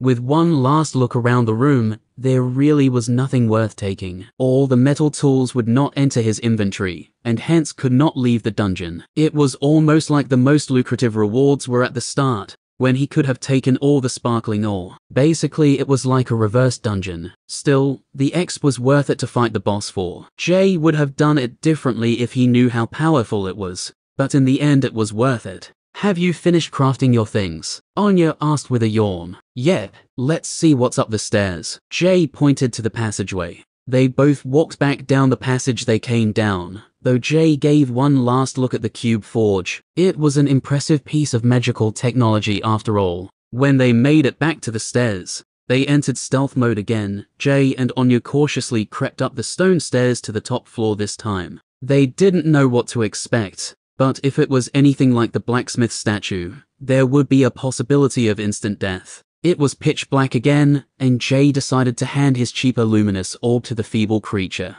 It could do the scouting for them, since they couldn't see very far ahead anyway, a safety precaution of sorts. Jay wasn't exactly sure how the statues had any vision at all, but it seemed that neither light nor darkness made a difference to them, which worked in their favor as seeing a glowing orb across the room would have been like a beacon. Reaching the top of the stairs, they looked around, and to their fear, they entered a room full of weapon racks combo all, covered with glistening Helvetian steel weapons. Most of the swords and spears were the ones they typically saw the soldier statues carrying, but among them were a few daggers, and other odd weapons comma some looked like fists with spikes on them, while others were sickle-shaped attached to long chains. One of them was just a metal hat with a sharpened rim, very edgy. Jay was slowly getting ideas for future weapons for his minions, but Anya had other thoughts. Imagine if the blacksmith was up here, she whispered. Jay didn't nod or respond to her whisper. He knew it would have been fine, since the blacksmith was bonded with its hammers, which is why it was so powerful,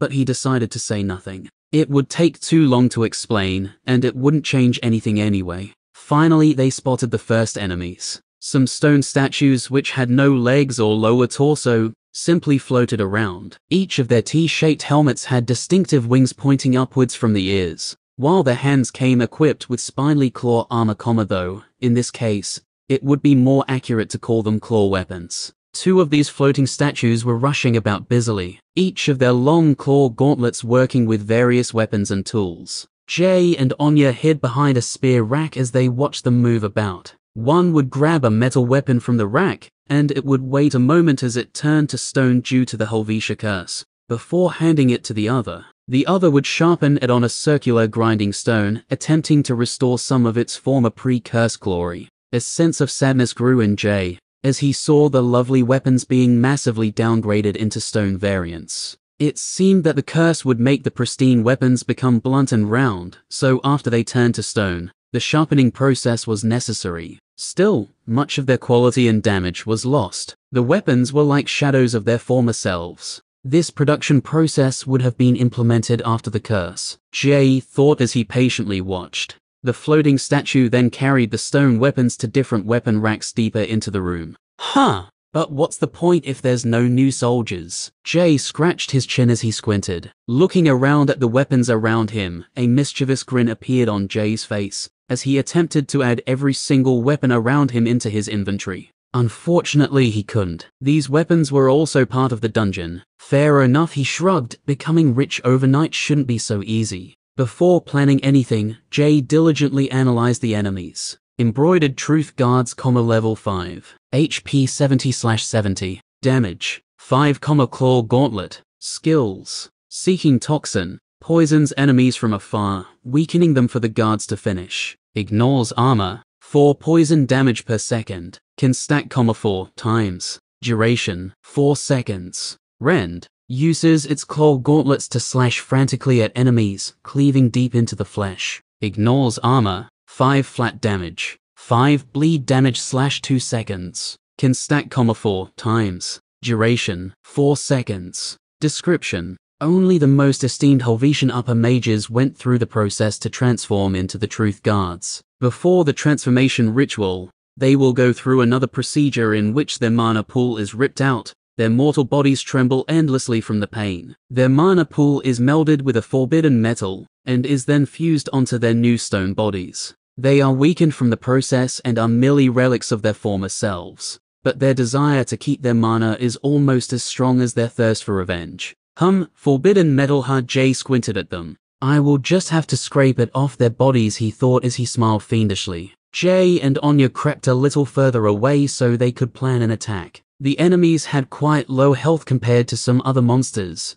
so they weren't very alarmed. Hiding behind some shield racks, they came up with a plan. It was a relatively simple strategy. Attack the one grinding while the other went to fetch a weapon, comma let the skeletons do all the attacking until the enemies targeted Jay. Then Anya could get to work doing heavy crossbow damage. After they were done with their hushed whispering they crept back again and waited till the grinding statue was alone. Now, Jay mentally yelled a thought command to his skeletons. Each of the skeletons rushed from behind different weapon racks and slammed their hammers against the statue's back, instead of falling forward like one might expect. This was a floating statue, comma it went spinning helplessly across the room, smashing into some weapon racks and causing destruction to the equipment. Nice. Jay grinned, seeing how his skeletons made it pathetically crumple against their hammers. If it had a spine, it would have been shattered. However, the battle wasn't over, comma the statue wasn't dead, while the banging sounds of the falling weapons alerted everything in the room.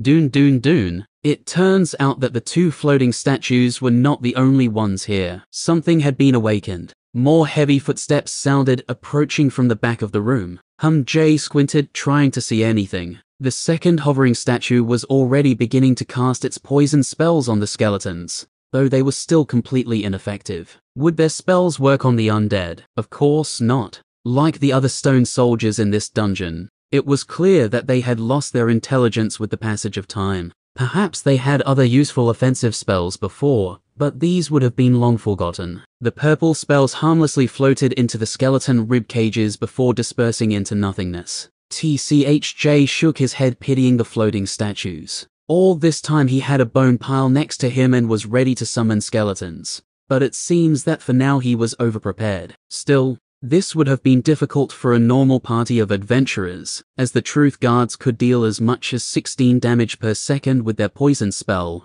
But for Jay, it was as easy as a walk in the park. All he had to do was watch and wait. Doon Doon Doon, Chapter 172. The statue that was sneak attacked by the skeletons went flying and was already close to death. After doing a few pitiful slashing attacks with its claws, it died miserably, contributing almost nothing to the fight. The skeletons had a few scratches on their armor, but that was it. It seems these statues were designed to fight against living targets, causing damage over time effects with their poison, and then bleeding them to death. There was one thing though which didn't make sense to Jay. The stone statues were magic resistant, so how could they cast spells? Looking a little more closely at the one casting a spell, Jay found the answer. They were invisible at first, but as mana was pushed into spells some faint blue veins spread over the statue's arm. It seemed they were coated in some sort of mana conducting material. Interesting Jay sneakily squinted at it. His inner necromancer was impressed.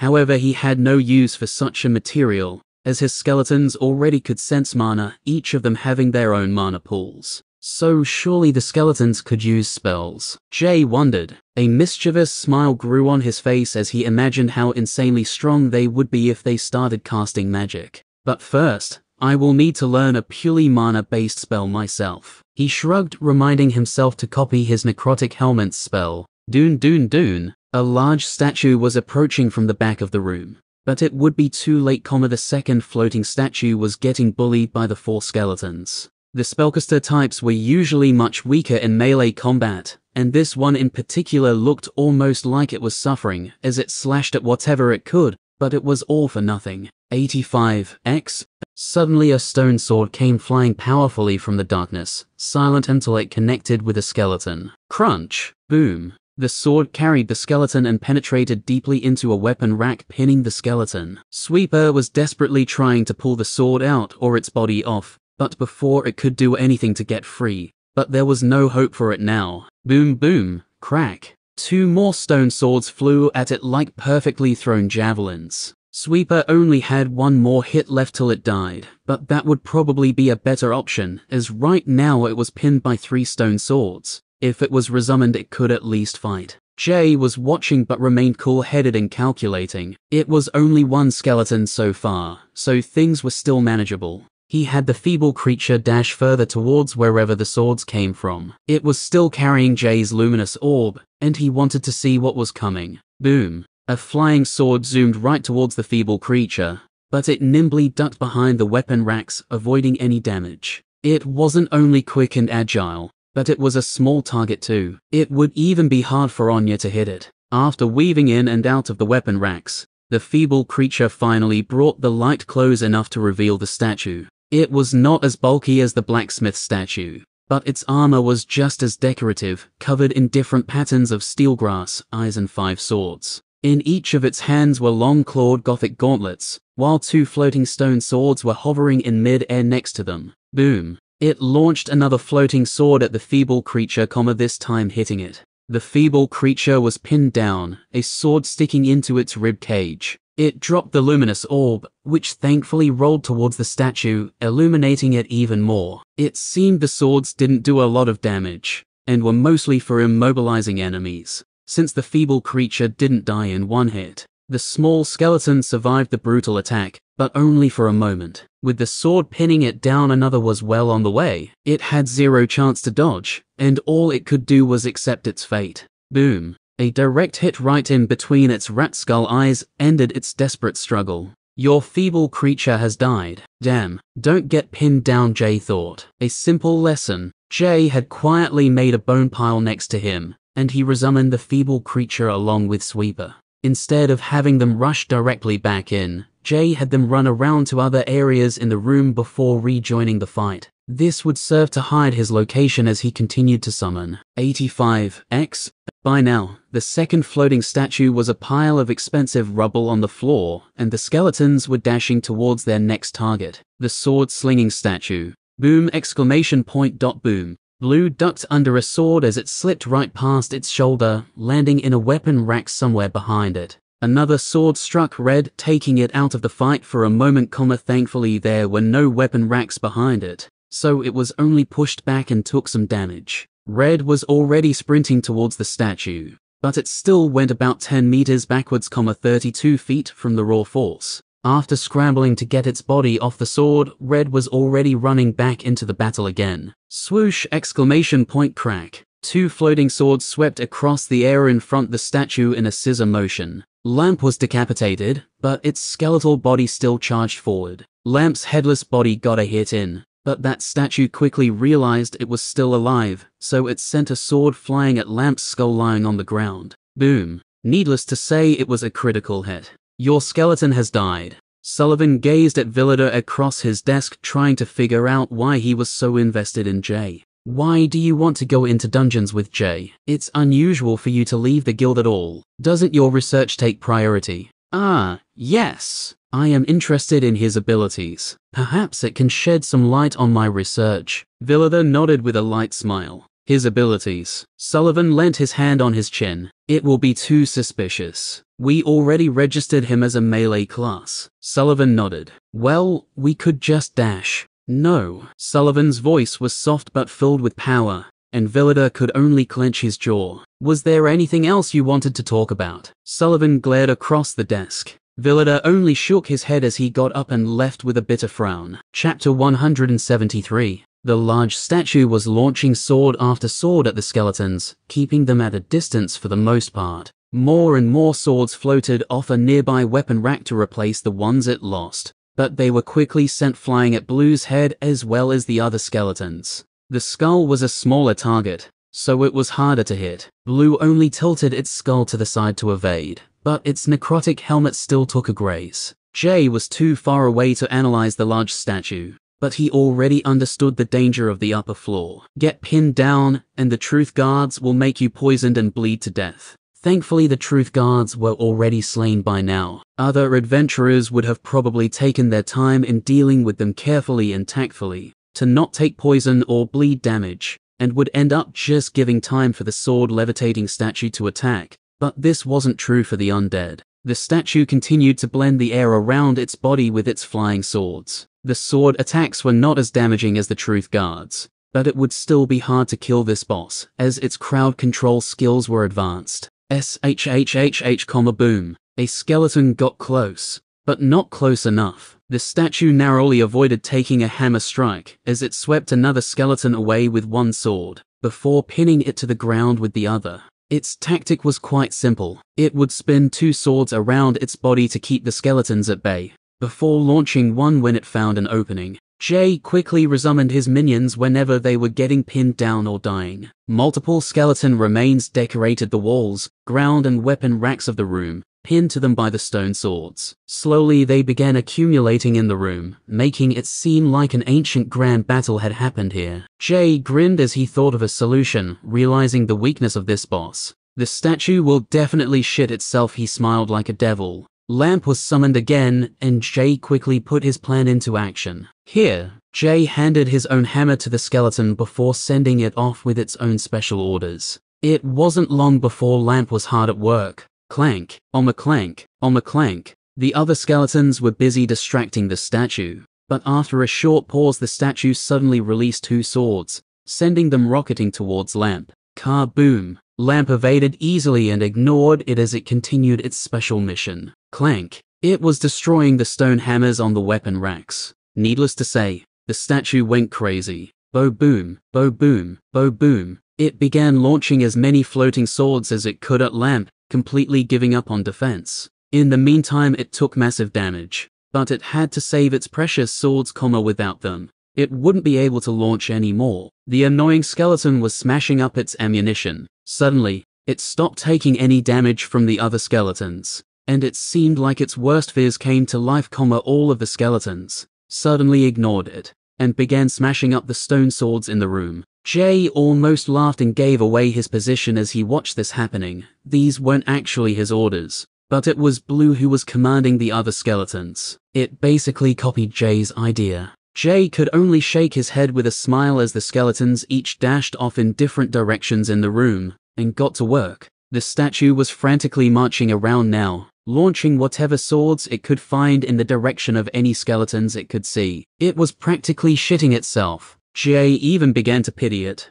but he was still smirking, feeling quite superior. So far, all he did was summon his skeletons while he and Anya quietly watched, and because the skeletons charged at the enemy from different directions his location was never found. The statue probably didn't even know it was dealing with a necromancer, and was probably thinking it was in some sort of nightmare. Bonk, clank, clank, bonk, clank. All around the room, the stone weapons were being destroyed. The skeletons were as proficient at destruction as they were at killing. At some point, the statue stopped launching the swords, comma, it had to maintain two to defend itself efficiently. The sounds of stone swords being broken slowly quieted down, and it was this point in the fight where Jay and Anya began to move closer. Most of them were destroyed. Like ghosts of death, the skeletons reappeared from the shadows, surrounding the statue from every side. The statue had its two stone swords left floating just above its shoulders. They were ready to stab and slash at any moment. Jay was finally close enough to analyze the enemy.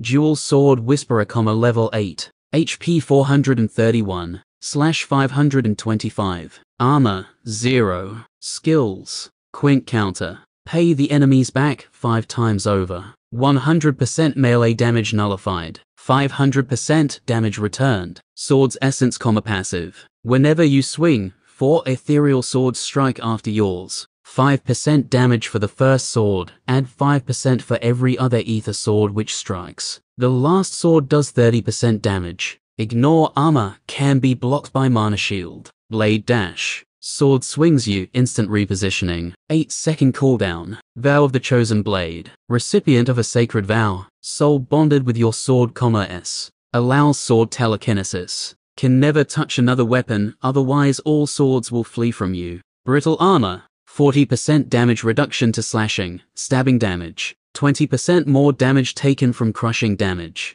Helvetia's Revenge. Magic damage immune. Any wielded weapons become cursed. Description a dishonored servant of the Helvetian king, Its title and name removed, it body turned to stone. A once legendary quint blade, now cursed to never lift its swords again. At one time, it was one with its swords, comma, but time passes, and the blades remain eternally out of reach. It longs to be one with its swords again, but they are no more turned to stone like everything else. It will never betray its lost companions by lifting another, and no other weapon will satisfy its soul. Wow, good thing it was loyal to its weapons, otherwise this wouldn't end well Jay though, reading through its supreme sword abilities. I wonder if that's why it was dishonored, being more loyal to its swords than its king. Jay scratched his chin. This one is like a complete opposite to Hesvan the blacksmith. It throws swords away like trash, while Hesvan held onto them until his bitter end. It doesn't end enemies in one hit, but locks them down and kills them slowly. Swoosh. Crack. The levitating swords span around its body like a fan. The skeletons couldn't even get close. Of course, they would keep trying and were slowly taking damage as they became more aggressive. Looks like it's our turn, Jay whispered to Anya. Anya nodded back with a smile as she mounted her crossbow onto a weapon rack and took aim. Chapter 174 Anya mounted her crossbow onto the top of a weapon rack and took aim. Sue. Funk. The bolt effortlessly pierced into the side of the statue's head with a critical hit, cracking its head sideways, and almost causing it to stumble. All the skeletons took advantage of the statue's brief state of pain to move in closer and do some easy damage. They managed to get a few hits in, but the statue quickly recovered, and before its head was even upright, it was lucid enough to defend itself. The floating swords started to whirl once again, but not quickly enough as Blue and Sweeper were able to pass through and deal heavy damage. The two skeletons within the whirling swords forced the statue to alter its sword technique. It promptly thrusted its stone swords back and pierced Blue and Sweeper. However, this just meant that Red was able to hit it from behind. This was the least of the statue's problems though, as the threat of the heavy crossbow was still present, shooting it from somewhere in the darkness among the weapon racks. It seemed annoyed as it suddenly grabbed Red with its gauntlet and tossed it into the path of one of its floating swords before marching towards wherever the crossbow had fired from. The helpless skeleton bounced off and landed in a pile of debris. The statue was closing in on their location. Here we go, Jay said, raising his shield. Anya nodded. After reloading her crossbow, she mounted it on top of a weapon rack and fired again. Sue, Tring. The statue somehow blocked the bolt with one of its floating swords. Was that on purpose? Jay squinted. It was hard to tell in the darkness and the chaotically spinning swords, and Jay could only hope the statue wasn't that much of a sword master. Still, they technically outnumbered it 7 to 1, so master or not, it would not remain in this world much longer. As it drew nearer, the weapon racks were more dense, which proved to be an issue It couldn't spin its swords around its body anymore. The racks did act as barriers on either side though, so for it now had a sword defending its back from the skeletons, while one was at its front. Tell me when you're about to fire. Okay. Just before on your shot, Jay made the decision to charge an unstable tooth spell and cast it. 5 seconds 3 dot dot 2 dot dot Anya counted down while taking aim again. Boom. Tat tat. Sue. Funk. 8.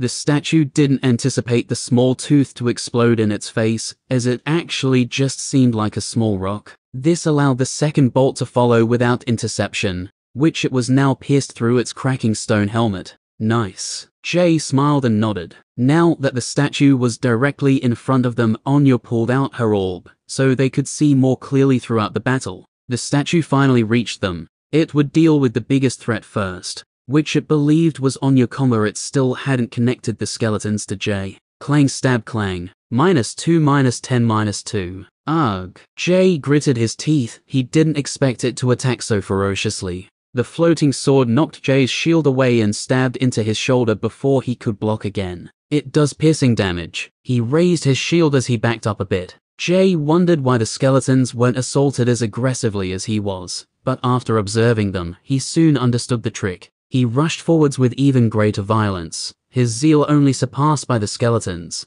as he started to strike furiously after taking his final spare hammer from his inventory. Minus two. The foe had to use its swords for both attacking and defending, so Jay would merely force it to defend. Its tactic was like a double-edged sword. He deflected one blow as he charged in, but his plan was starting to pay off. Dunk, comma clang, comma dong. Neither the statue nor Jay were scoring any hits at this point, but that's exactly what Jay wanted. The only thing it could do was deflect his hammer away with a hovering sword, before it could smash its body up. It remained stuck here as long as Jay swung his hammer at it wildly. At least, it would be a stalemate until Jay became too fatigued. However, Jay wasn't alone. Sue, Funk, another bolt landed on the statue, a critical hit right in its face. Crack, chip, pebbles and flakes of stone broke away. The skeletons were attacking from behind, and since there were five of them, they were able to land a few occasional hits too.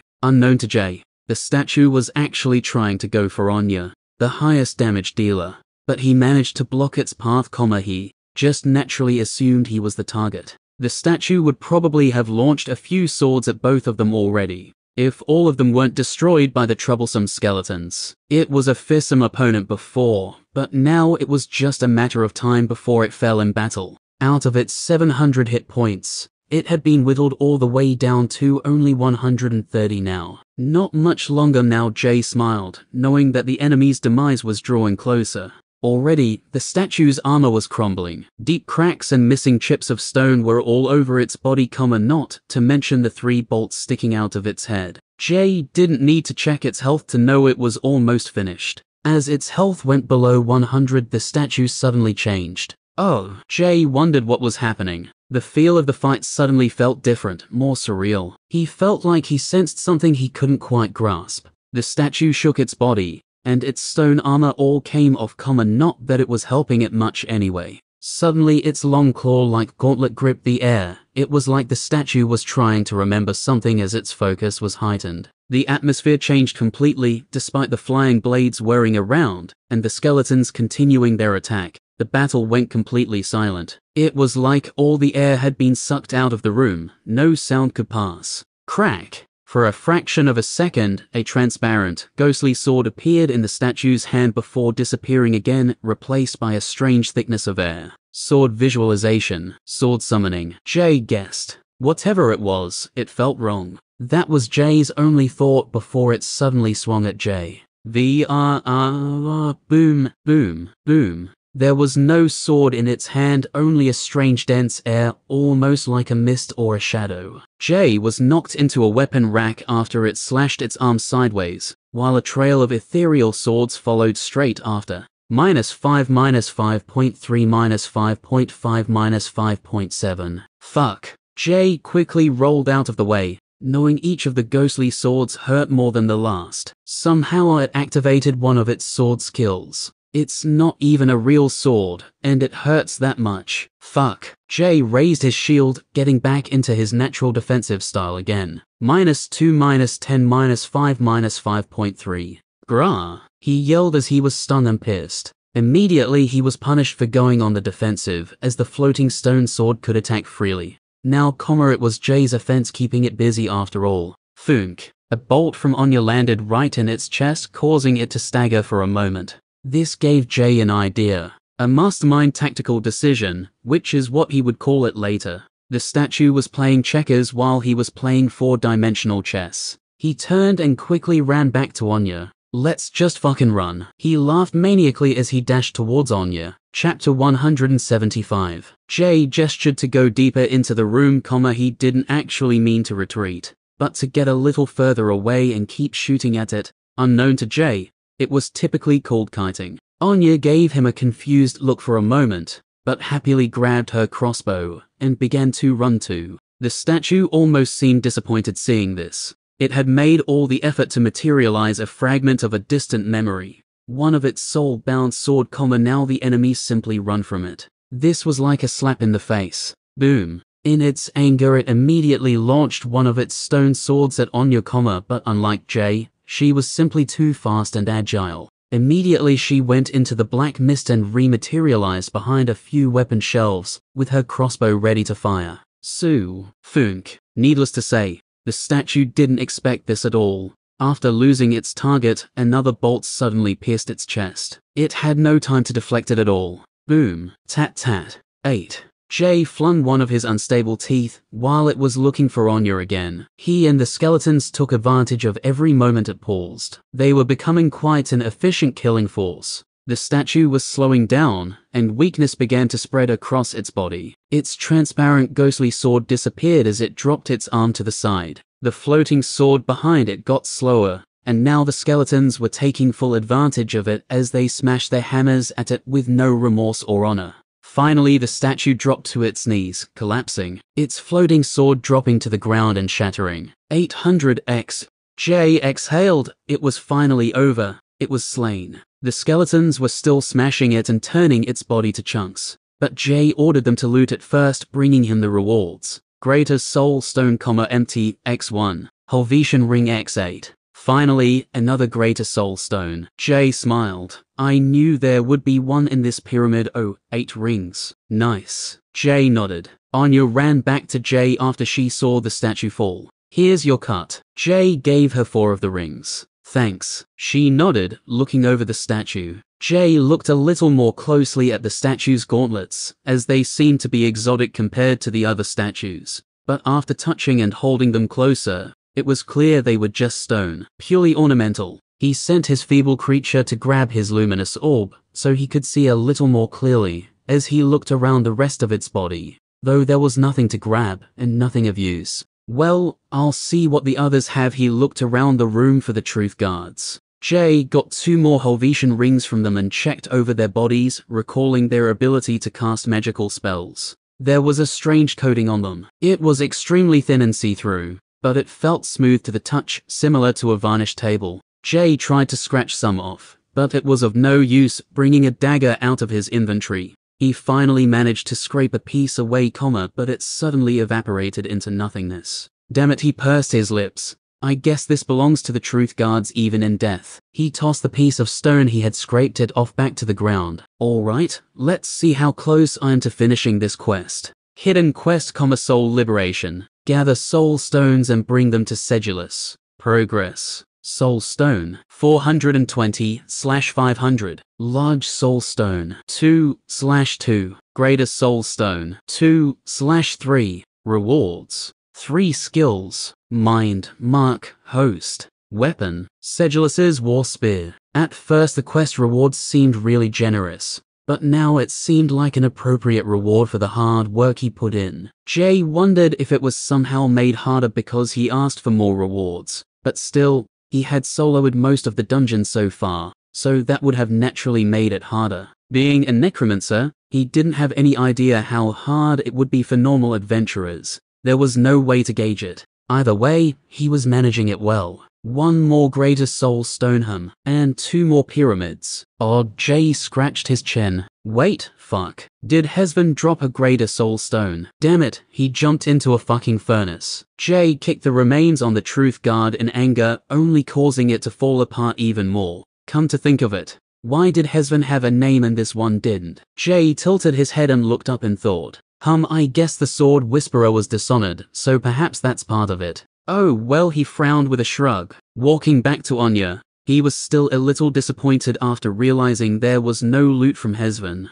Anya saw Jay with a solemn expression again after the battle, but again, she decided not to ask about it. After all, the choice to enter battle always came with the potential for personal sacrifice and hardship, but many never realize the choice of inaction also comes with sacrifice. The skeletons were waiting next to the bone pile, some were eating to recover health and armor, while Blue stood by and watched over them. Jay thought that he seemed like a worthy commander, watching over his troops while they went about their business. The pile got smaller, so Jay gave them a warm smile and added more bones. Hey, you aren't injured, why are you eating? Jay gazed at the small skeleton. It neither made any sense that it would eat, since it didn't get the bone eater skill till level 3, comma, but that's when he realized why. Oh, you leveled up. Good. Jay patted it. Anya grimaced a little seeing Jay patting the skeleton. There was something discomforting about it. As it ate, it grew before their eyes as its bones creaked, cracked and reformed. It was still below shoulder height, but much taller than it was. Well, I suppose I should name you. Jay looked around, dark. Or, no ceremony. Anya teased with a smile. Nope, you should never declare an assassin. It defeats the purpose, Jay said, as if it were a matter of fact. Anya shook her head with a smile as she looked at the young level 2 skeleton twirling its dual daggers. It seems like it's getting used to them again, now that its body is bigger on your thought. Shouldn't be long till Red levels up either, Jay said, hoping Red would get an interesting role choice. The skeletons had already collected all their weapons, but Jay gave them another order to collect the bones, comma he simply couldn't be bothered to go around and get them himself. The skeletons each scurried off into the dark corners of the room, each of them knew exactly where they had died. So it didn't take too long to collect their own remains, bringing them back and adding them to Jay's bone pile. Jay stood by waiting, and considered how he didn't realize the skeletons had leveled up. After all the skeletons were healthy and healed, and had gathered the bones, he gave them a new command. If any of you need bones, come to me. He squinted at them. Jay landed his eyes on Blue for a moment to make sure his order would be ingrained in their skeletal skulls. Blue was becoming a competent leader, and strangely, Jay felt a sense of trust growing in the skeleton, the trust in its reliability. Finally, Jay added the bone pile back into his gauntlet and gave his orb to Lamp, letting Dark continue to dual wield again. Hum, I wonder if Lamp gets a class from, well, Literally being the lamp carrier, he watched it for a moment as they walked to the back of the chamber. This is the end of this video. Once again go super our original author, who we all love AER 0182. Next chapters are coming, so subscribe to be noticed. Have a wonderful day and come again.